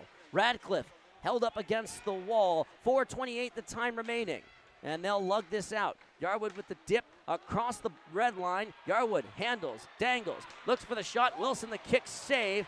Dowler stood his ground and works the puck around the dasher. If you are new to hockey and getting into this sport through this, you're getting everything that playoff hockey can offer you. Long pass ahead for Sheehan. He'll leave it in from the red line. Ojic out to play it. Worked around the boards. Robertson tries to separate Parker from it. Kicks it free to the circle. We're under four minutes to go in the second.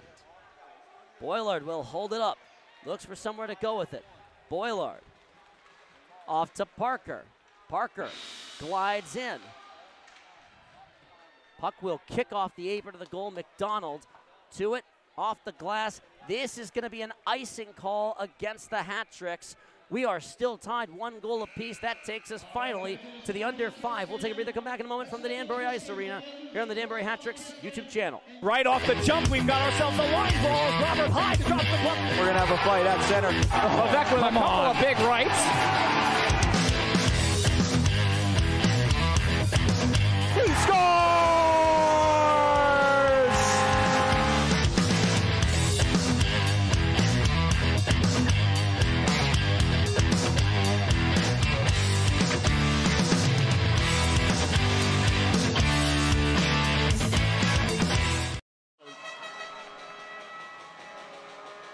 Clancy moving and relocation. Moving is stressful, but it doesn't have to be. Call Clancy. Let them do the heavy lifting. Resident and commercial, plus other services, including storage. Remember, Clancy is fancy. That's Clancy moving and relocation. Three minutes, 33 seconds left to go, and I've heard from people who have seen the, who have been able to wind back the broadcast and have been able to see it. It was indeed a no goal from what they have been able to tell. Okay. So we stay tied 1 1. There has been a ton of stuff, a ton of shots, a ton of discussion. Hey, it's not even a lot of shots, right? But there have been some really High danger chances. Yeah, but it, it, it's still amongst that. To me, this game's been about defense, and Yep. both teams have really clamped down uh, against each other. It feels, it, it kind of feels like they'd be comfortable. Each side would be comfortable trying to win this game 2 1. Schultz plays it in neutral. Looks for the play in Olivieri. Wilson stays in his net. Lets Johnny McDonald come to it. Tries to work this puck free. McDonald can't get this out.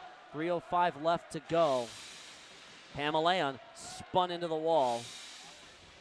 One goal for each team in the first period, zero goals so far. Not to say that this game has been bereft of things to discuss. Schultz knocked down by Pamelayan. Wanted the pass for Radcliffe and couldn't connect cleanly. Abdella knocks down the clearing attempt forward for De Benedette. Tried to get it forward for Radcliffe and couldn't quite make that play cleanly. Pass thrown behind. Olivieri will settle it. De Benedette with the stick on it. Olivieri creating some space. Glides it over the hat trick logo. Winds up for the blast. Fakes it. Goes around his man. Turns. Net's wide open. And he couldn't get to it cleanly if he could have gotten the wraparound. Kirkby wanted to head off. He stays in. Takes the check. Yao tries to get this out. Danbury playing a little lackadaisical as Wilson makes a stick save. That'll bounce over the blue line. This is kind of sloppy play from the hat tricks right here. Glides in over the red line. Fitzgerald will ring it in. Yao out to settle it. Yao wants Radcliffe. Gets fortunate that Benedette's there on the weird bouncing puck. Connects cleanly with Ojic. Ojic in. Ojic turns. Can't get the pass away cleanly. He'll take it behind and threw it to the slot. Lewis was only there for it. A little too long waiting to pull the trigger on the shot or the pass. And Binghamton's offsides with a minute 44 left to go. Yep, Ojic uh, just waited just a little bit too long. Maybe tried to get a little too fancy. Maybe he might have been thinking about, can I make the pass? You know, can I find the trailer? Is he going to be open? But he had a step on everybody, and he had a clear lane to the net, and he probably needed to shoot it when he got to the left circle. He did not, and a good scoring chance, or what appeared to be, ends up to be no shot at all. And we get a face-off here just outside the hat trick. Blue line, a minute 41 to go in the second, and we remain tied at one apiece. The officials were having a chat with Brian Wilson just to make sure that he was all set and square. Yes, he is. A minute and 41 left to go. The next goal feels enormous. Yeah, later in this game, you get that next goal is going to be a really big one, whoever gets it. Wilson out of his net looks to settle it with his stick. Wants the pass up, and Falanga will tip this out. Sheehan creates a two on two with Kuznetsov on his right hip to the blue line looking for the tip. It's wide of Sheehan. Falanga looks for it on net. Knocked down by Fitzgerald. Dowler receives the play. The Binghamton D-men. Yarwood underneath a few guys. Anderson spins with the puck on his backhand, gets it to his front. Still handling it. This puck created by Falanga. Good check. Michael Falanga has been in on a number of these sorts of plays. And here's a chance for Binghamton. Inside looking for the tip. Gjurich couldn't quite connect with it. Ruiz to the loose puck. Jumping out of the way of that was Gordy Bennell. Tried to throw it across for Kuznetsov and couldn't connect with him. It was picked off by Tyson Kirkby. Olivieri. Pass long ahead. Wilson will just put his glove on it. It's the smart decision with Kirkby bearing down on it. So in that last sequence, great opportunity for Binghamton. Somehow blown assignment by Danbury. Binghamton has an opportunity coming in with the extra men. Anderson came in on left wing, and he should have taken the puck to the net and shot it. There wasn't any defender near him. Instead, he saw Gjurich. Listen, 300 goal player. Saw Gjurich cutting to the net, but Gjurich was the one guy that was covered, and they were unable to connect on the pass, and it ended up being no harm, no foul for Danbury. But, you know, Anderson there, Punch saved by Wilson, 30 seconds left. Puck loose, right in the crease, and kicked to the wall. McKittrick tries to get the clear. Yates, Schultz, Schultz rather, kept it in. Cleared, not quite out. Schultz the shot, blocked. They hit Kirkby on the way in. Kirkby the backhander to Schultz winds up shot. Tip. Wilson gets a stick on it and paddles it to Xavier Abdella, who will just hold it and hope to burn off some more time. One more chance. Olivieri spins, turns, fires. The puck goes a little bit wide, and that winds out the second period with the shot hitting Johnny Ruiz right at the buzzer. This game is tied at one goal apiece. Neither side scored, and yet that was some of the most entertaining hockey that we have had the privilege and at alternate points frustration of calling throughout the course of the season. Yeah, that there was a lot going on in that second period. The last 33 seconds or so here, not one you're going to put in the Danbury highlight No. film. They were scrambling. Binghamton was all over them. Got a couple good saves out of Brian Wilson there. A couple failed clearing attempts by Danbury. It seemed like the puck just kept ending up on Schultz's stick on the left wing, and they had good opportunities. They were just unable to put it home. So after 40 minutes of play, here in the decisive game three of this best of three series, we remain tied at one apiece. Quite a play, quite a couple of moments and opportunities for one or either of these teams to take the lead. Danbury hit a crossbar, a couple of penalties that the hat tricks didn't like, a couple of points where Binghamton very nearly took the lead. Brian Wilson looks great. This is everything you could think of and everything you could hope for out of a playoff game with a chance for somebody to win a series and move on. Yeah, the intensity I think is ratcheted up. I mean, it was intense in the beginning, but I thought there were tentative moments and some sloppy moments early in the first period. Seems like the teams have settled in right now.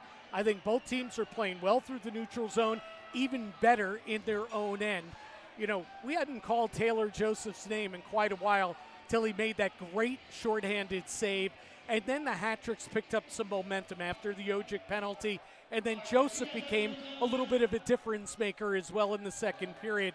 To me, the best player on the ice so far has been Brian Wilson. Yep. But credit to both teams, man. Ed, guys are going down, blocking shots. This is what it's all about. Season hanging in the balance. 20 minutes of regulation hockey to go. Danbury won, Binghamton won. We're going to keep it right here for the intermission festivities. Quick pause back in a moment for Jim Cerny. I'm Chris Lynch. Back in a minute from the Danbury Ice Arena here on the Danbury Hat Tricks YouTube channel.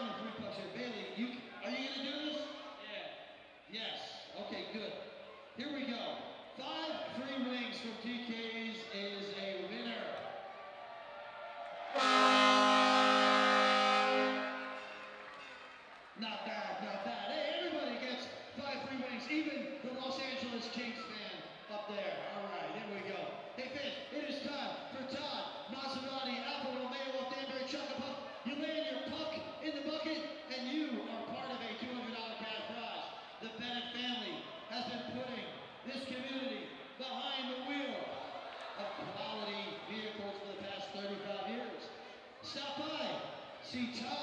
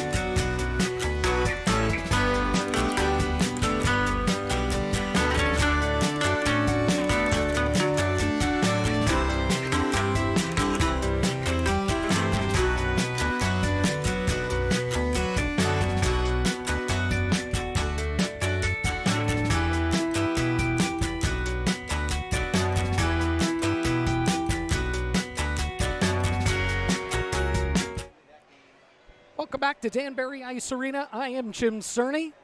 Chris Lynch and I calling tonight's game three between the Danbury Hat Tricks and the Binghamton Black Bears. The winner goes on to play in the Commissioner's Cup final against the Carolina Thunderbirds. The loser, their season will come to a close. We are tied at one after two periods of play, so we got 20 minutes of regulation ahead, and who knows, maybe even more hockey after that.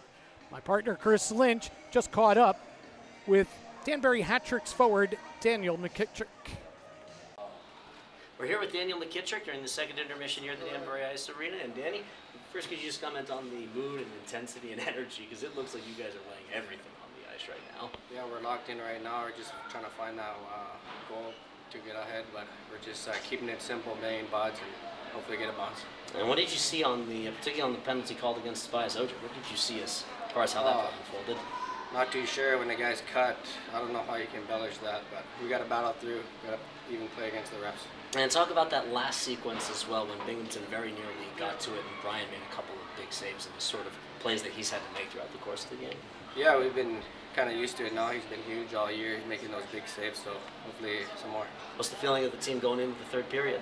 We're confident, but we still gotta just go hard, uh, bang some bodies, and get the get the puck deep. 20 more minutes to go. Daniel, thank you so much for coming on. Thank you. And that is hat tricks forward Daniel McKittrick, who picked up an assist tonight. He's got three points, all assists in five playoff games so far. The scoring all took place in the first period, 314 in. Binghamton's Samaros first of the postseason from Yates and Fitzgerald. Binghamton got off to a very nice start, not just the goal, but controlling the play, getting the better of chances, stymieing Danbury the other way. But the Hat-Tricks eventually found their game, and at 9:40, off a turnover, Michael Marchesson tied the game at one apiece. His sixth of the playoffs. He's tied for the FPHL postseason lead in goals with six. Gordy, uh, Gordy Bennell and Daniel McKittrick, who we just heard from there, with the assists on that one. That was all the scoring in the first period. Black Bears out shooting Danbury in the opening 20, 13 to 10. In the second period, no scoring.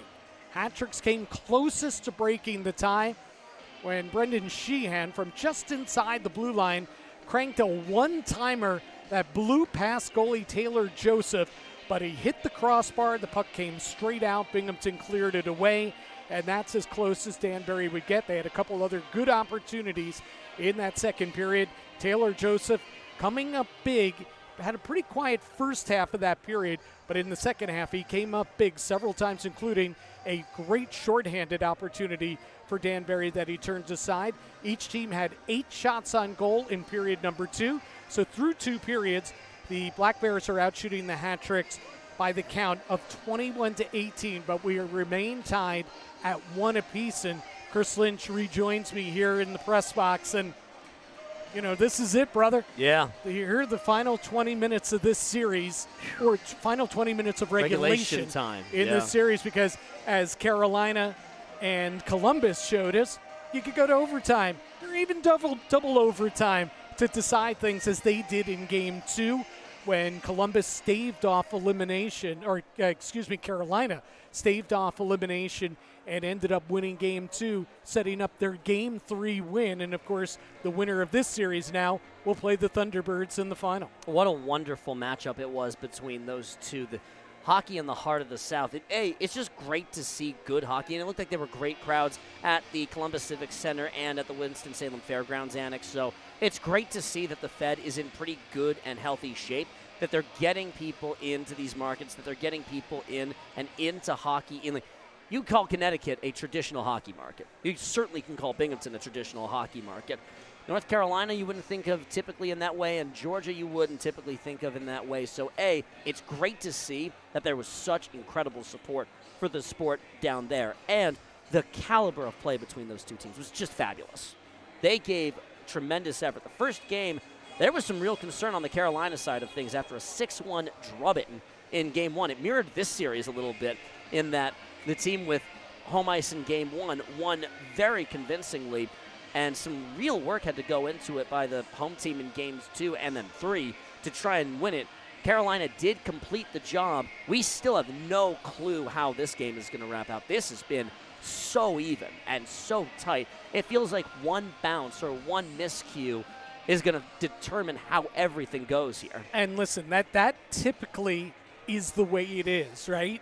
When you get two evenly matched teams playing a decisive game, and you know here we are tied after two periods, it's probably going to be a mistake, and or, or a, a bounce or something crazy is going to happen, and we'll just have to sit back and take it all in and see how it goes. Worth noting that a guy who played with a lot of jump after that controversial penalty call against Tobias Ojic, the second year pro came out at the penalty box, shot out of a cannon, Yep. and played his best hockey of this series after that penalty call. And even though he didn't get rewarded with points, it's some of his best hockey of the season, I would argue as well. Ab- absolutely. And it's been a rough go for him this year with the injuries and everything. He missed months worth of action with the facial injury that happened back in October. Uh, you know, and he's had other injuries along the way as well. It's been a real stop and start season for him. But he was playing some really good hockey. He's a guy to watch here in the third period.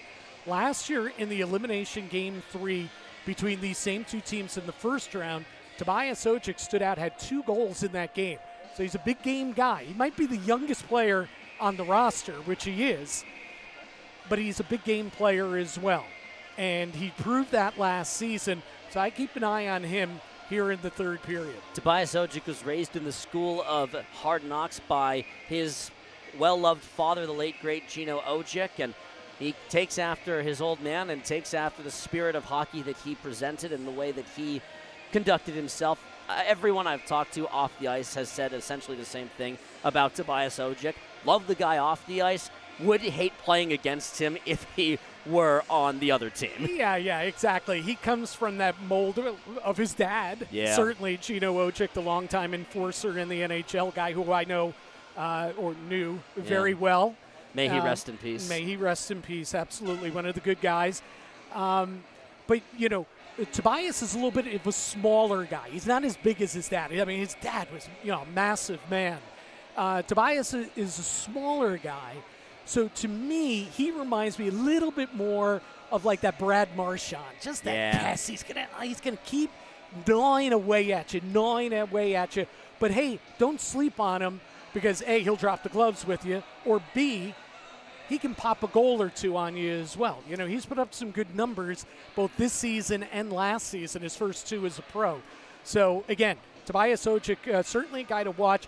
One of five guys on the hat tricks in the lineup tonight that played in that decisive game three against Binghamton a year ago, joining the captain, Johnny Ruiz, alternate captain, Gordy Bennell, defenseman, Johnny McDonald, and also uh, Dmitry Kuznetsov and there are five Binghamton players that played in that game as well that are playing here tonight. Gjurich, Kirkby, Fitzgerald, Boilard, and Yarwood.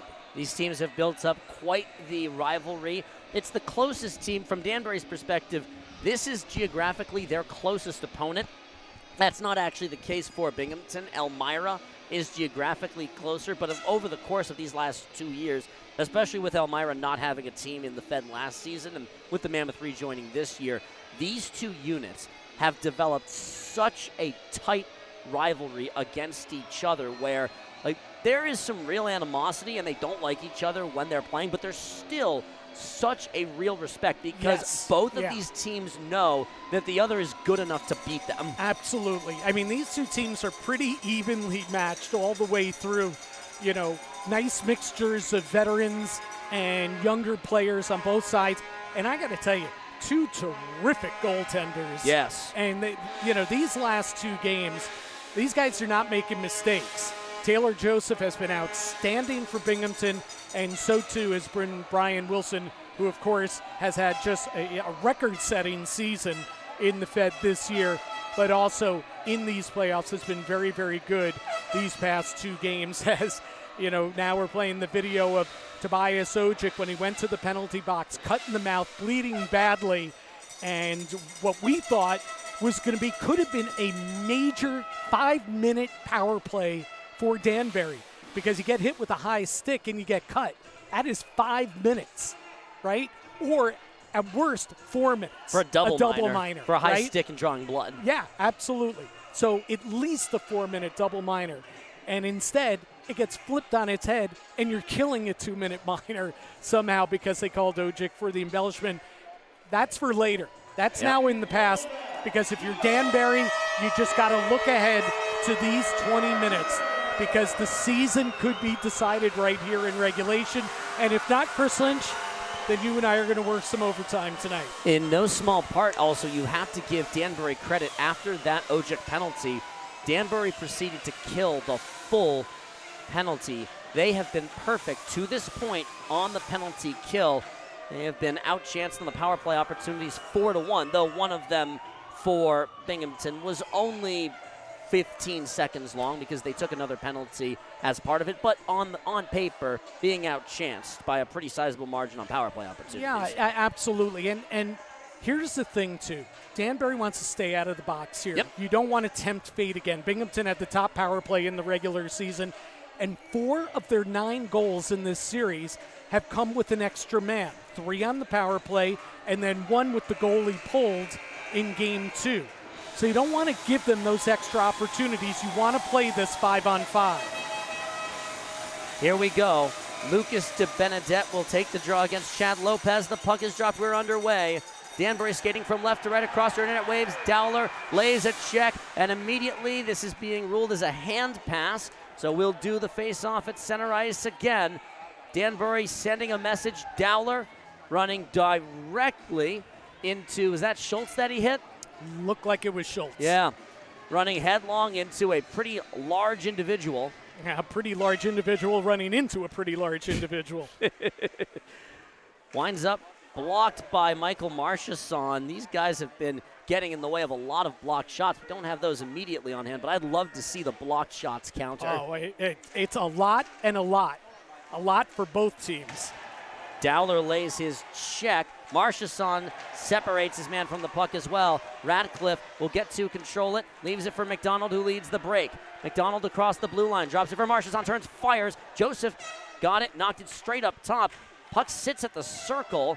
I thought that might have been called for an out for hitting the protective netting, but we play on instead. Turns at the circle, spot on and saved by Brian Wilson. And immediately some pushing and shoving. Pamelayan in the middle of it for Danbury. 50 seconds in, and we get our first stoppage. Yeah, Pamelayan just got a whole face wash right there at the end of the whistle. I'm not sure who's delivering it there. It's Don Olivieri who Yeah. they have to separate from him. Yeah, the big face wash there on uh, Pamelayan, but again, no harm, no foul. And now Olivieri is having a few words with the official who wants to hear none of it. He just pointed him away, Yep. and the face-off will be to the left of Brian Wilson. First good scoring opportunity of the period that went to Danbury. Quick snapshot by Michael Marchesson, and a good pad save by Taylor Joseph.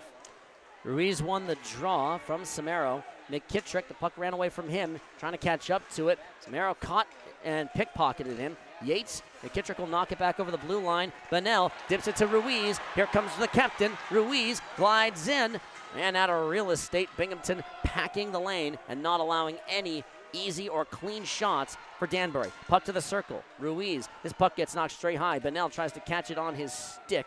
Settles it. Yao catches it, has to wait, lobs it in, and Taylor Joseph will catch it and play it out to Fitzgerald. We're a minute 30 in. We're tied 1 1. The winner of this game goes on to the Commissioner's Cup Championship Series. Schultz hits the official, lost the handle on the puck.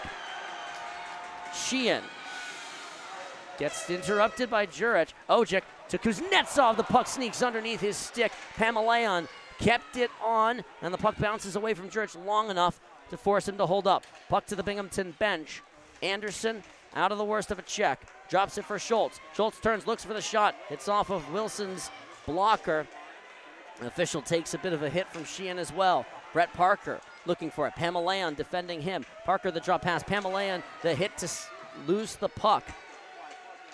Turning and looking for something. Olivieri goes down. Blocker saved by Wilson. Turning, trying to get something cleanly. Sheehan will chip it forward, and Yarwood is back for it to deny the breakout for Tobias Ojic. Danbury will settle it at their face-off dot. Hamalan over the middle for Kuznetsov. Will put it off the glass. It'll run on. Fitzgerald has to control it as the pass to the wall. Mac Lewis spins out of a hit from Lucas de Benedette. The goal scoring is simple. Samaro for Binghamton. Marchesson. As this is going to be an icing call. Phew. That's a bit of a mistake on the long pass to give yourself a defensive zone face-off. And Binghamton's been really good on the on the draws in this one. So there's a big face off here. De Benedette will take it for the hat tricks. And he wins it. Good job by Lucas de Benedette. One it away from Lopez. Radcliffe over the middle. Puck bouncing. Yarwood down. Hat tricks are off sides. They're going to say Marchesson's a bit quick jumping across the blue line. And we are exactly three minutes into the third. Yeah, the linesman was right on that one. And, uh, you know, the puck was flipped high in the air and it was bouncing and then, you know, hit a stick right before, or hit a skate right before the blue line. So Marchesson can't anticipate that, and he just went in slightly ahead of the play. Lopez wins the draw on neutral ice. Yarwood will run it forward. Yarwood has been in the middle of a number of Binghamton offensive chances. Puck poked off his stick, flipped up, and through Lopez's outstretched glove. Fitzgerald will settle it. Wrong round the dasher. Wilson out of his net to settle it. Hands off for Dowler. Up for Radcliffe. Got through him. Yates, Schultz, and Olivieri dips his way free. Glides in. Shot. Got nothing on it. Got blocked. Radcliffe hit by Dowler. Where's the puck? It's to the slot. Drops it. Schultz shot. Tipped upstairs. Goes to the circle. Tyson Kirkby will turn and look to try and create something out of this. Ruiz and McDonald trying to get the puck out. Binghamton has had most of the play in their offensive end here in the third to this point. Wilson has stood tall. Radcliffe and Bennell. Bennell will glide in, takes the puck in, waits for reinforcements. Gordy Bennell holds it. He'll ring it around. Taylor Joseph got a stick on it. And Schultz, the first guy there to receive it for Binghamton. Hat tricks have not had an awful lot of offensive zone time. They had the one chance to start the period, and since then, we have been at the Binghamton offensive end. Lobbed in. Ojic goes and gives chase. Dropped it to the circle. Threw it right to the tape of Parker. Here comes Brett Parker. Lobbed in, off the glass. Yao and Falanga back for it. Yao won the race to the puck, and Xavier Abdella will pick it up. Binghamton back in defense. Sheehan over the middle. Brendan Sheehan tries to create some space at the circle. Sheehan goes in, backhand shot. Puck sits and gets kicked by Fitzgerald to the corner wall. Falanga tried to lift it across Binghamton. Will get this out. Pamelayan can't control it. Fitzgerald can't handle the pinballing puck. Pass for Ojic. Chance for a two on two. Ojic, the pass forward for Sheehan, and they couldn't play it cleanly. They'll have to go off for a line change. Danbury not quite connecting. They get one of these and finish it off. Then they're in business. At the other end, looking for the tip. They almost score. The puck just barely trickles wide off of Anderson's stick. A great setup by Gjurich. Pass across neutral ice for Marchesson. Drags it. Looks to create some room. Ran out of real estate. Radcliffe goes to get it. Radcliffe and Marchesson can't combine for it. End to end we go. De Benedette will cut it off in neutral for a second. Binghamton tries to gain it. They're on sides. Olivieri dips through Robertson. The backhander goes through Wilson and to the wall. Gathered and kept down at the line by Mac Lewis. Chipped in, and where is it? It's on Lopez's tape. He turns, he fires, he puts it a little bit high and over the crossbar. To the point for Schultz. He'll step into it. Plays to the top. Shot wide of Wilson's net. It's a shooting gallery, and Wilson will cover up the puck with 14.05 to go in the final stanza. It takes us to our first media timeout of the period. Quick pause back in a second from the Danbury Ice Arena.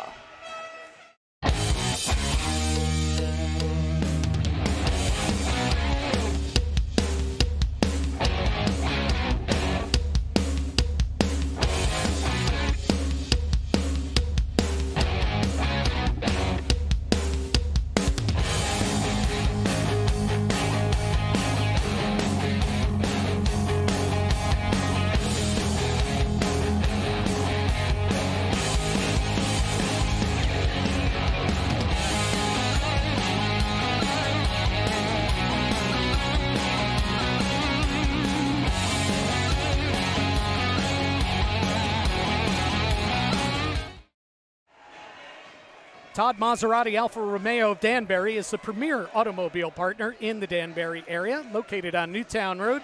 The Bennett family has been putting the community behind the wheel for over 35 years. Dream big, drive a Maserati or Alfa Romeo. New and pre owned vehicles available. Let Todd Maserati Alfa Romeo of Danbury be your choice.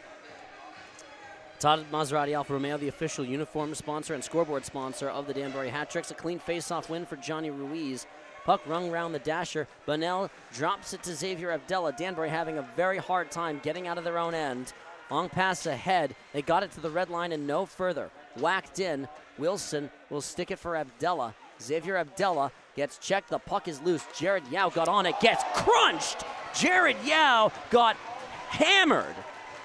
Ruiz tries to create a chance for this puck to come free. Yao staying out there. That's a huge hit taken by Yao. Yeah, Lopez delivered it, kept his arms in, looked like a clean hit. He just absolutely leveled Jared. Yao. Wow.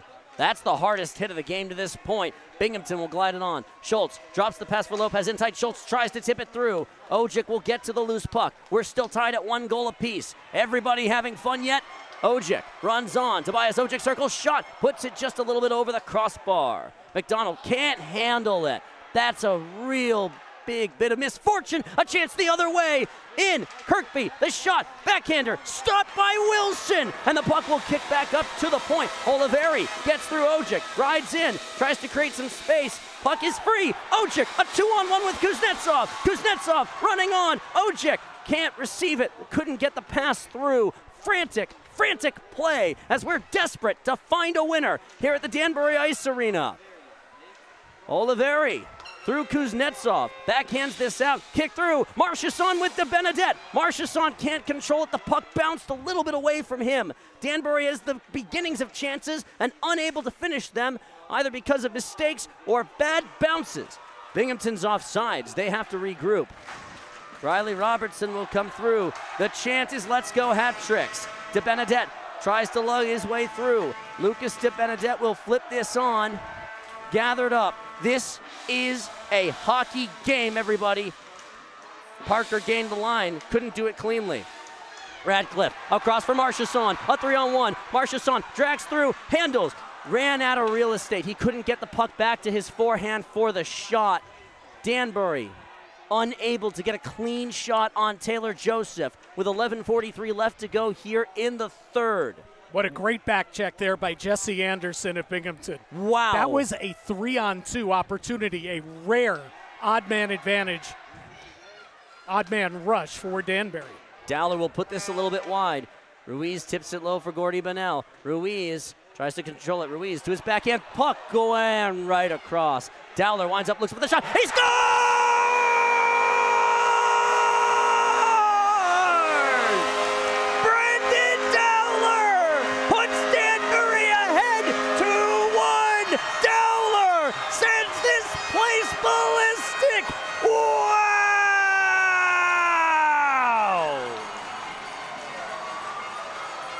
The puck bounces up top. Dowler stepped into it, shot it. That may have gotten tipped. Let's see that right. That may have gotten tipped. It's on its way right there, I think. It caught Daniel McKittrick. This might be McKittrick's goal. Yeah. That might, yeah, that's McKittrick's goal that tips off his stick in the slot. This is Daniel McKittrick's goal, but who cares who scored it? The hat tricks in the lead midway through the third. Get the puck to the net. Shoot the puck. Get it to the net. That's what you got to do. And the hat tricks, in a period that so far they've been a little bit outplayed by Binghamton, now have taken a two to one lead. Their first lead of the night here in game three. Looks for it on sight. Shot on. Save made. It is being ruled as Dowler's goal. It's being ruled as Brendan Dowler's goal to the circle. Schultz couldn't control it. Falanga trying to get this out. Ruiz gets the assist on it. Lopez turns, wants the backhander. Puck sits. It's right at the top of the crease. Can they get it out? Binghamton will get to it. 10-25 left. Ojic knocks him down. Falanga takes the check, and we're across. We're 10-20 left. Here's a chance for Binghamton. Slot, block, bouncing puck trying to clear it. It's playing like a pinball machine in the 80s. Turning and looking. Radcliffe will get this out. Marchesson cheating behind. Marchesson runs on. Marchesson spins with it. Hands off. Radcliffe. Save made by Joseph. What an unbelievable save by Taylor Joseph. This game has everything. What a save by Taylor Joseph. And let me tell you, if Binghamton comes back to tie this game, or if they come back to win this game, you are going to remember that save because that could have been the dagger right there. In such a tight checking, close game, already trailing by a goal, only 10 minutes remaining in the period. That 3 1 goal would have been the dagger, you would think. What a save by Joseph. Wow. And It's- what a setup by Marchesson to Radcliffe. It's one of the plays of the season. If it's a goal, it's on the highlight reel for the rest of all of their lives. It's on Taylor Joseph's highlight reel forever as Kirkby gets crunched by Yao. Yates fumbles with the puck, still with it. Yates turns up top. Fitzgerald steps into it, looks for it in the slot, can't connect. Yarwood pulls up. Fitzgerald steps into it, shot wide of Wilson. Yao creates some space and pitchforks the puck into Binghamton ice. This has enough steam to turn into an icing. That's not the worst icing you can take, but still, face off in Danbury ice at the other side of the media timeout. Quick pause back in a moment. 2 1 Danbury in the lead here on the Danbury Hat Tricks YouTube channel.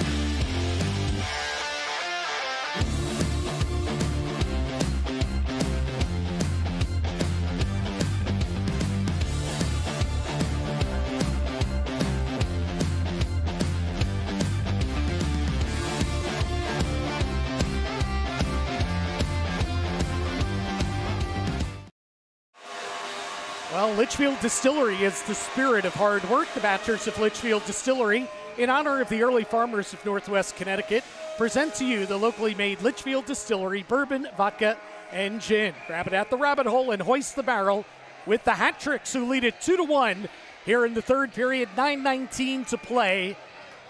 The Hat Tricks win. They go on to their first Commissioner's Cup Championship Series appearance. A lot of hockey still to be played. Jared Yao tried to ring the puck out, but now falls to his feet, gets back up.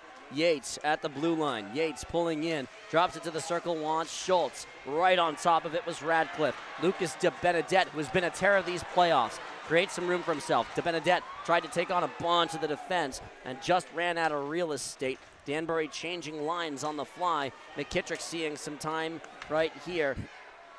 Abdella tries to use the net as a shield, gets caught up to by Yates. Abdella uses his strength and has Ruiz to help him out. Ruiz off for Abdella, looking for an outlet. 8.35 left to go. A bad turnover, diffused.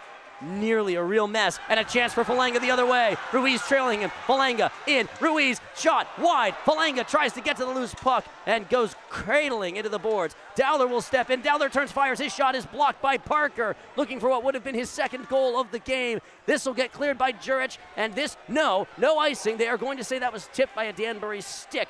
So the clock keeps running. There is entirely too much time if you're a hat trick or a hat trick supporter to feel comfortable with this score. Up the wing, Sheehan will knock it free. Brendan Sheehan runs on. Kuznetsov with him on his right. Sheehan runs hard into the boards. Kuznetsov to the puck. Up to the point. McDonald the shot blocked down before it ever got on net. Standing in its way was Andrew Logar, and everybody laying themselves out and giving what they have. Fitzgerald will leave it low. Dowler comes over to make a play on it. Dowler off the wall. Tobias Ojic gets to it. Ojic runs on for the loose puck and will flip it in with 7.28 left to go. Tick, tick, tick, tick, tick. There are too many sands in that hourglass for the hat tricks to feel comfortable with this. Pamelayan, the smart and mature play. Marchesson will sprint to it. Olivieri got to it, but not without Marchesson bearing down his, the back of his neck. Almost ready to turn over on Schultz. Here come the Black Bears. Cross the blue line. Backhander to Kirkby at the circle. Wants the wraparound. Tries it. Wilson the stop. He lost his stick at the circle. Binghamton winds up. Schultz, the shot. It's wide. Wilson holding a defenseman's stick. That shot sailed over the crossbar. He still has Abdella's stick. He'll reach over and get it as the puck comes back out to neutral ice. And Binghamton will regroup with 6.45 left to go, trailing 2 1. Schultz, his shot is blocked. Nobody knew where it was. It's sitting on the Binghamton defensive end of the red line. Puck nearly free. Gjurich will ring it in. Jared Yao comes over to make a play on this and clears it. This is going to be another icing with 6.23 left in the period. 2 1 Danbury. This place is up for grabs right now, Jim Cerny. Well, this place is not up for grabs. This is a Danbury Wow. crowd, but this game is still up for grabs. What a save by Brian Wilson on the wraparound. that he lost his stick, making that great save. And a really smart play. Puck came back to the left point. Schultz, on purpose, shot it off the back wall to have it carom to Kirkby, who is wide open in the right circle. He had Wilson down and out, and he shot it high and wide. A big missed opportunity for Binghamton. And we noted yesterday these boards have some life. excuse me, have some life to them. Offsides called. With 6.15 to go here in the third period, the Hat-Tricks with a 2 to 1 lead. Their first lead of the night came at 8.42 of the third. Brendan Dowler, his first goal of the playoffs. Johnny Ruiz and Gordy Bennell with the assist. And how about the veteran Gordy Bennell stepping up to the plate tonight in the biggest game of the season? He has assisted on each goal. And in fact, Dowler, that's his. That's not only his first goal; it's his first point of the postseason in any shape or form. a guy that did not play in game one of the playoffs against Elmira, but has played the last four with Gonzalez out with an injury. This is an icing call against Binghamton. That's a mistake by the Black Bears. Absolutely, it is. Just barely on the wrong side of the red line. 5.52 the time remaining. This game has had a little bit of everything, I tell you. If you come away from this and hockey's just not your thing after this, then hockey's just not your thing because this has had everything you could hope for out of a great, great playoff hockey game. Sheehan on the draw tries to move the puck forward. Fitzgerald holds it on the apron of the goal. Fitzgerald will run it up along the wing. Fitzgerald gets through Kuznetsov originally not through Pamelayan. Gjurich has to wait. Falanga on the puck, gets checked. Gjurich plays it to the slot. Sheehan got his stick in the right spot, flips it to neutral. Falanga, and I've been especially impressed here in the third period. Zach Pamelayan has made a number of excellent plays with his stick to blow up chances for the Black Bears. And has done a good job, too, when he clears the puck out, not icing it. Has had a nice touch. Falanga offered to Benedette, creates some space to Benedette, shot too high, catches the glass. Had exactly the right idea, just sailed it a little bit too high over the crossbar. Loose puck, Marchesson tried to go ahead. The puck jumped away from him. Drops it to the point, turns, shot blocked by Johnny McDonald. Five minutes left to go on the dot. Puck flown into Binghamton ice. Marchesson turns and leaves it low. 4.50 the time remaining here in the third. Looking for the outlet. Up the wing. On comes Logar. Logar, shot onto the protective netting. That will take us to the under five media timeout. Danbury in the lead 2 1. The final stretch of game three between Danbury and Binghamton on the other side from the Danbury Ice Arena. Right off the jump, we've got ourselves a line ball. Robert Hyde drops the puck. We're going to have a fight at center. Levesque with a couple of big rights. He scores!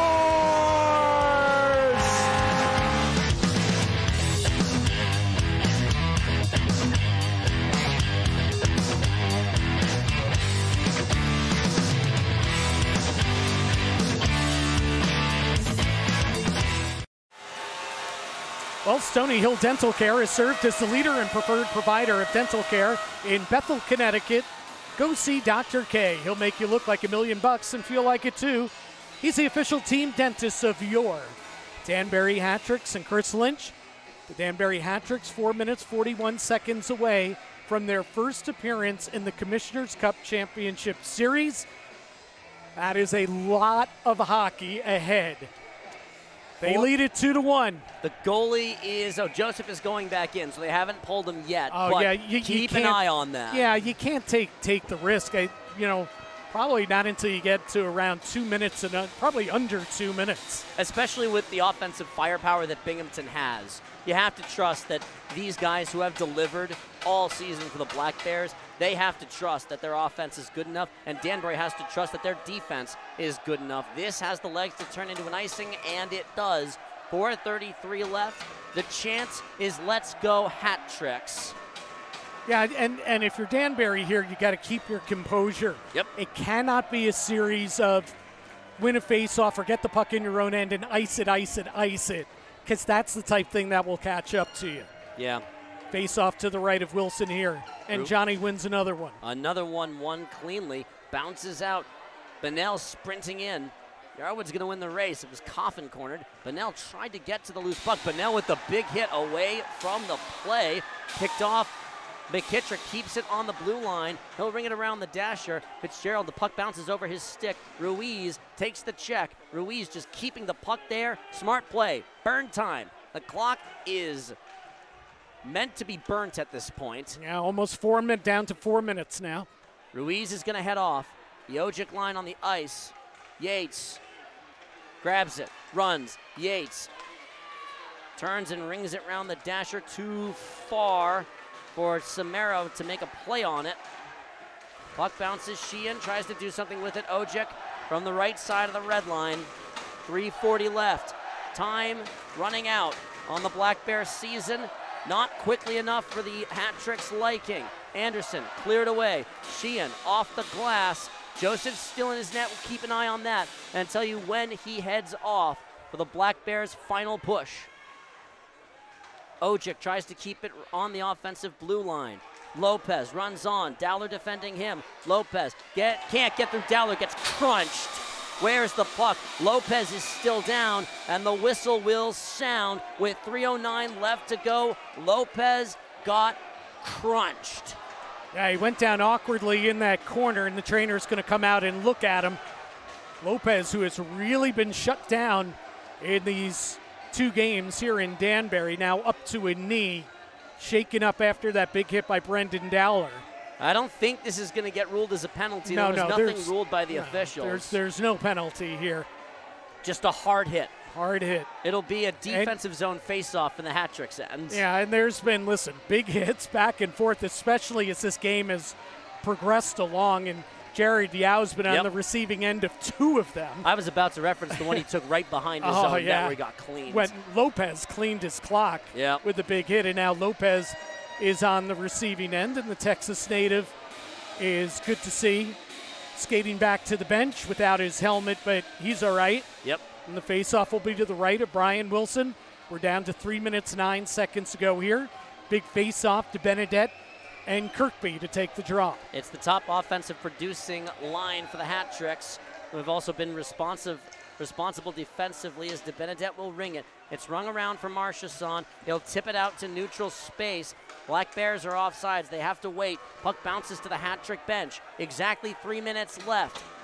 Danbury trying to slam the door on Binghamton season for the second year in a row. Dowler tries to force the puck free.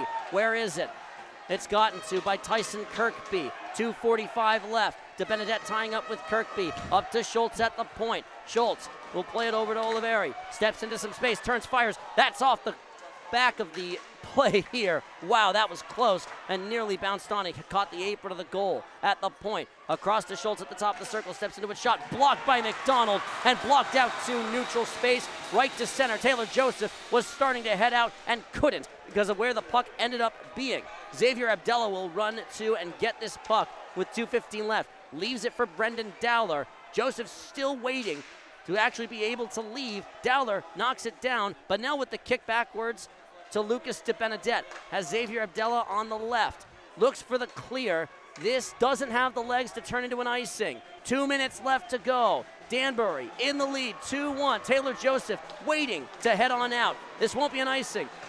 Wilson tried to get the clear. The net is empty for the Binghamton Black Bears. Fitzgerald on from the bench. Yarwood to the circle. Fitzgerald low. Fitzgerald will receive it backwards. Yarwood turns. Plays it up top. Wants the shot. It's low. It's underneath Kirkby. He's still got it. A minute 30 left to go. Binghamton looking for the tie. Danbury trying to slam the door shut. Minute 28 left to go. Olivieri holds it. Winds up. They are patient. They are taking their time. Circle shot blocked before it ever got on Wilson.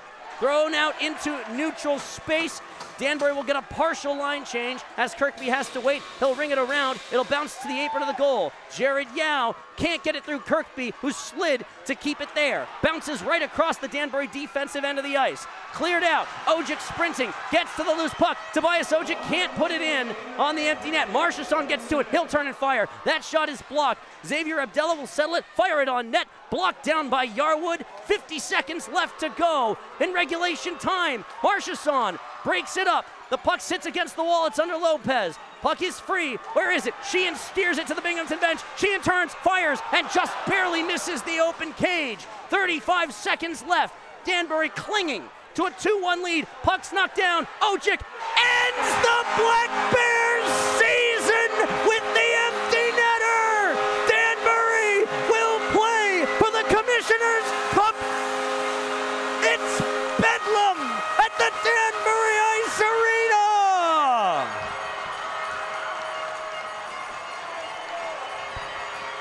How fitting that Tobias Ojic puts them away with the empty net goal. How fitting. And now he goes and he hugs Brian Wilson back in his own end.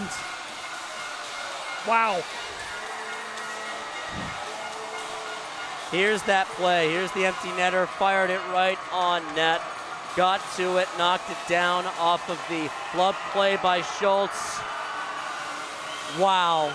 31 seconds left to be played in regulation time. Danbury calls for time, and the Danbury Hat Tricks score two goals here in the third period.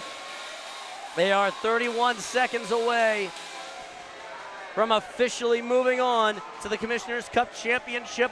Book the plane tickets for Winston-Salem.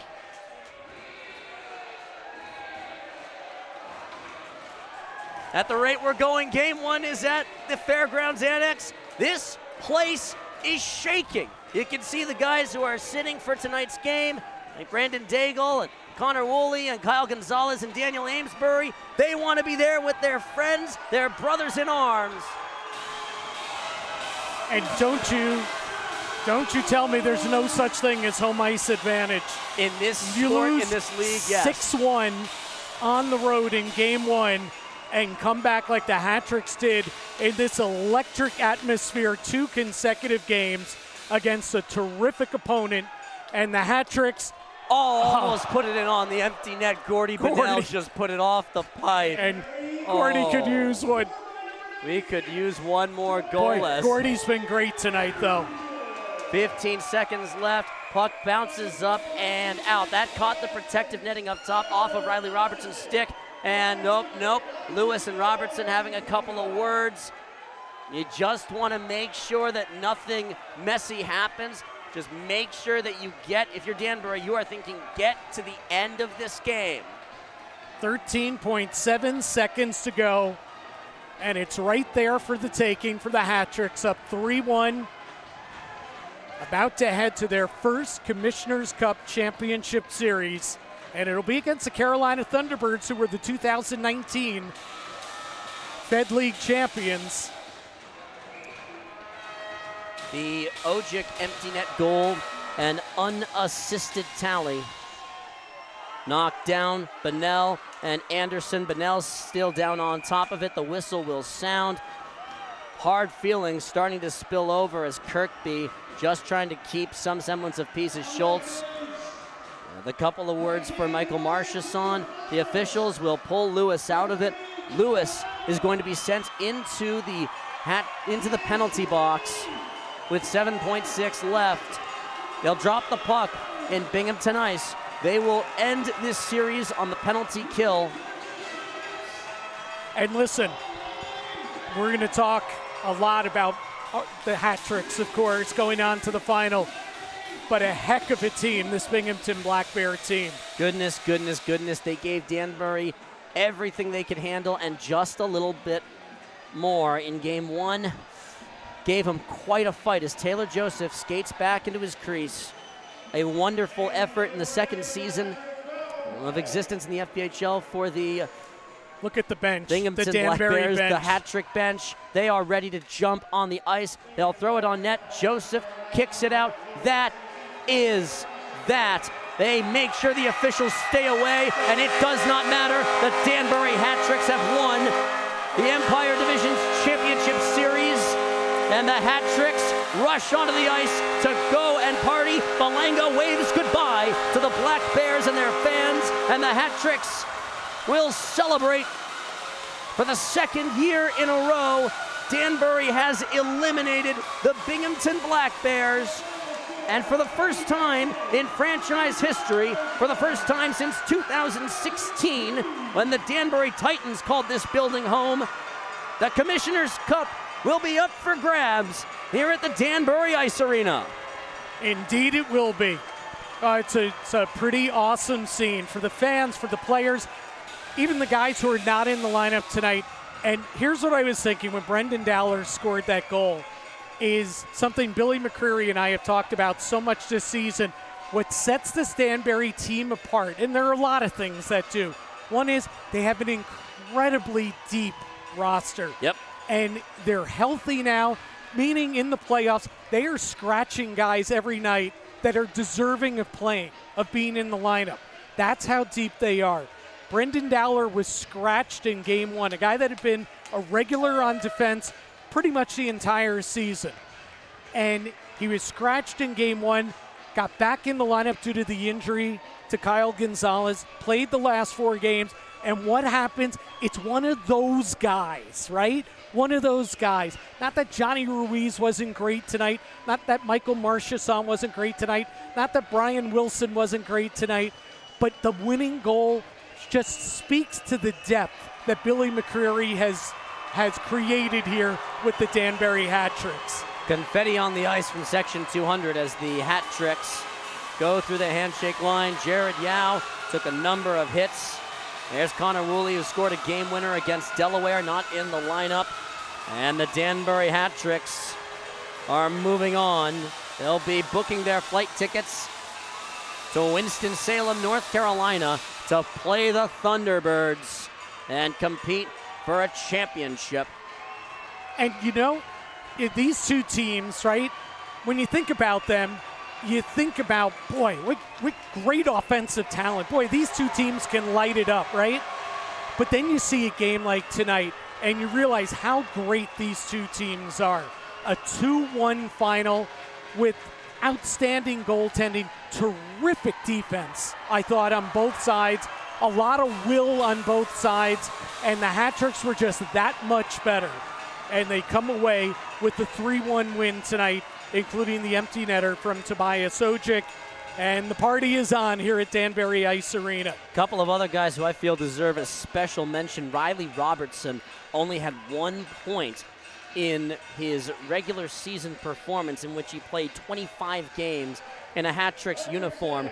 He has three points in five postseason games. That man won the Commissioner's Cup just last season with the Watertown Wolves. He wants to do it again, and he has been such a big lift. He had a couple plays in this game where he was willing to lay a big old check or clear the puck and get it to the right spot. Tobias Ojic had empty netters both games here at home, and this is, it took every single thing that the Danbury Hat Tricks had to offer in order to beat the Black Bears. They are that good. They were capable right to the very end of winning this series. They showed they won game one 6 1. It was not that close. Yeah, and, and the way the hat tricks handled the adversity, Billy McCreary told me, and it was in the story I wrote for the website yesterday. Billy McCreary said, I've never been more confident going into a game than I was game two at Danbury Ice Arena against the Binghamton Black Bears. He said, I've never been more confident. I never believed in a team more than I believed in my team in game two. That's what he knows about what makes up this team. Not only the talents of the players, but it's the will. And that's what that that's what Billy preaches is the will is is almost more important than the skill. And to that end, Brendan Dowler, who scored the game-winning goal tonight, is the one who gets to hoist the barrel, and the hat trick celebrate. They are going to the Commissioner's Cup Championship. Look at Johnny Ruiz playing to the crowd. He is Yeah. fired up. Dowler got to lift the barrel. You could have given it to Brian Wilson. There's Wilson's helmet just sitting on the ice right at the face-off dot. Yeah, they're going to have the three stars in a little bit. Uh, here's a little cheat. I feel pretty good that you're going to hear Brian Wilson's name mentioned. I think that's a pretty reasonable assessment. 27 saves on 28 shots faced.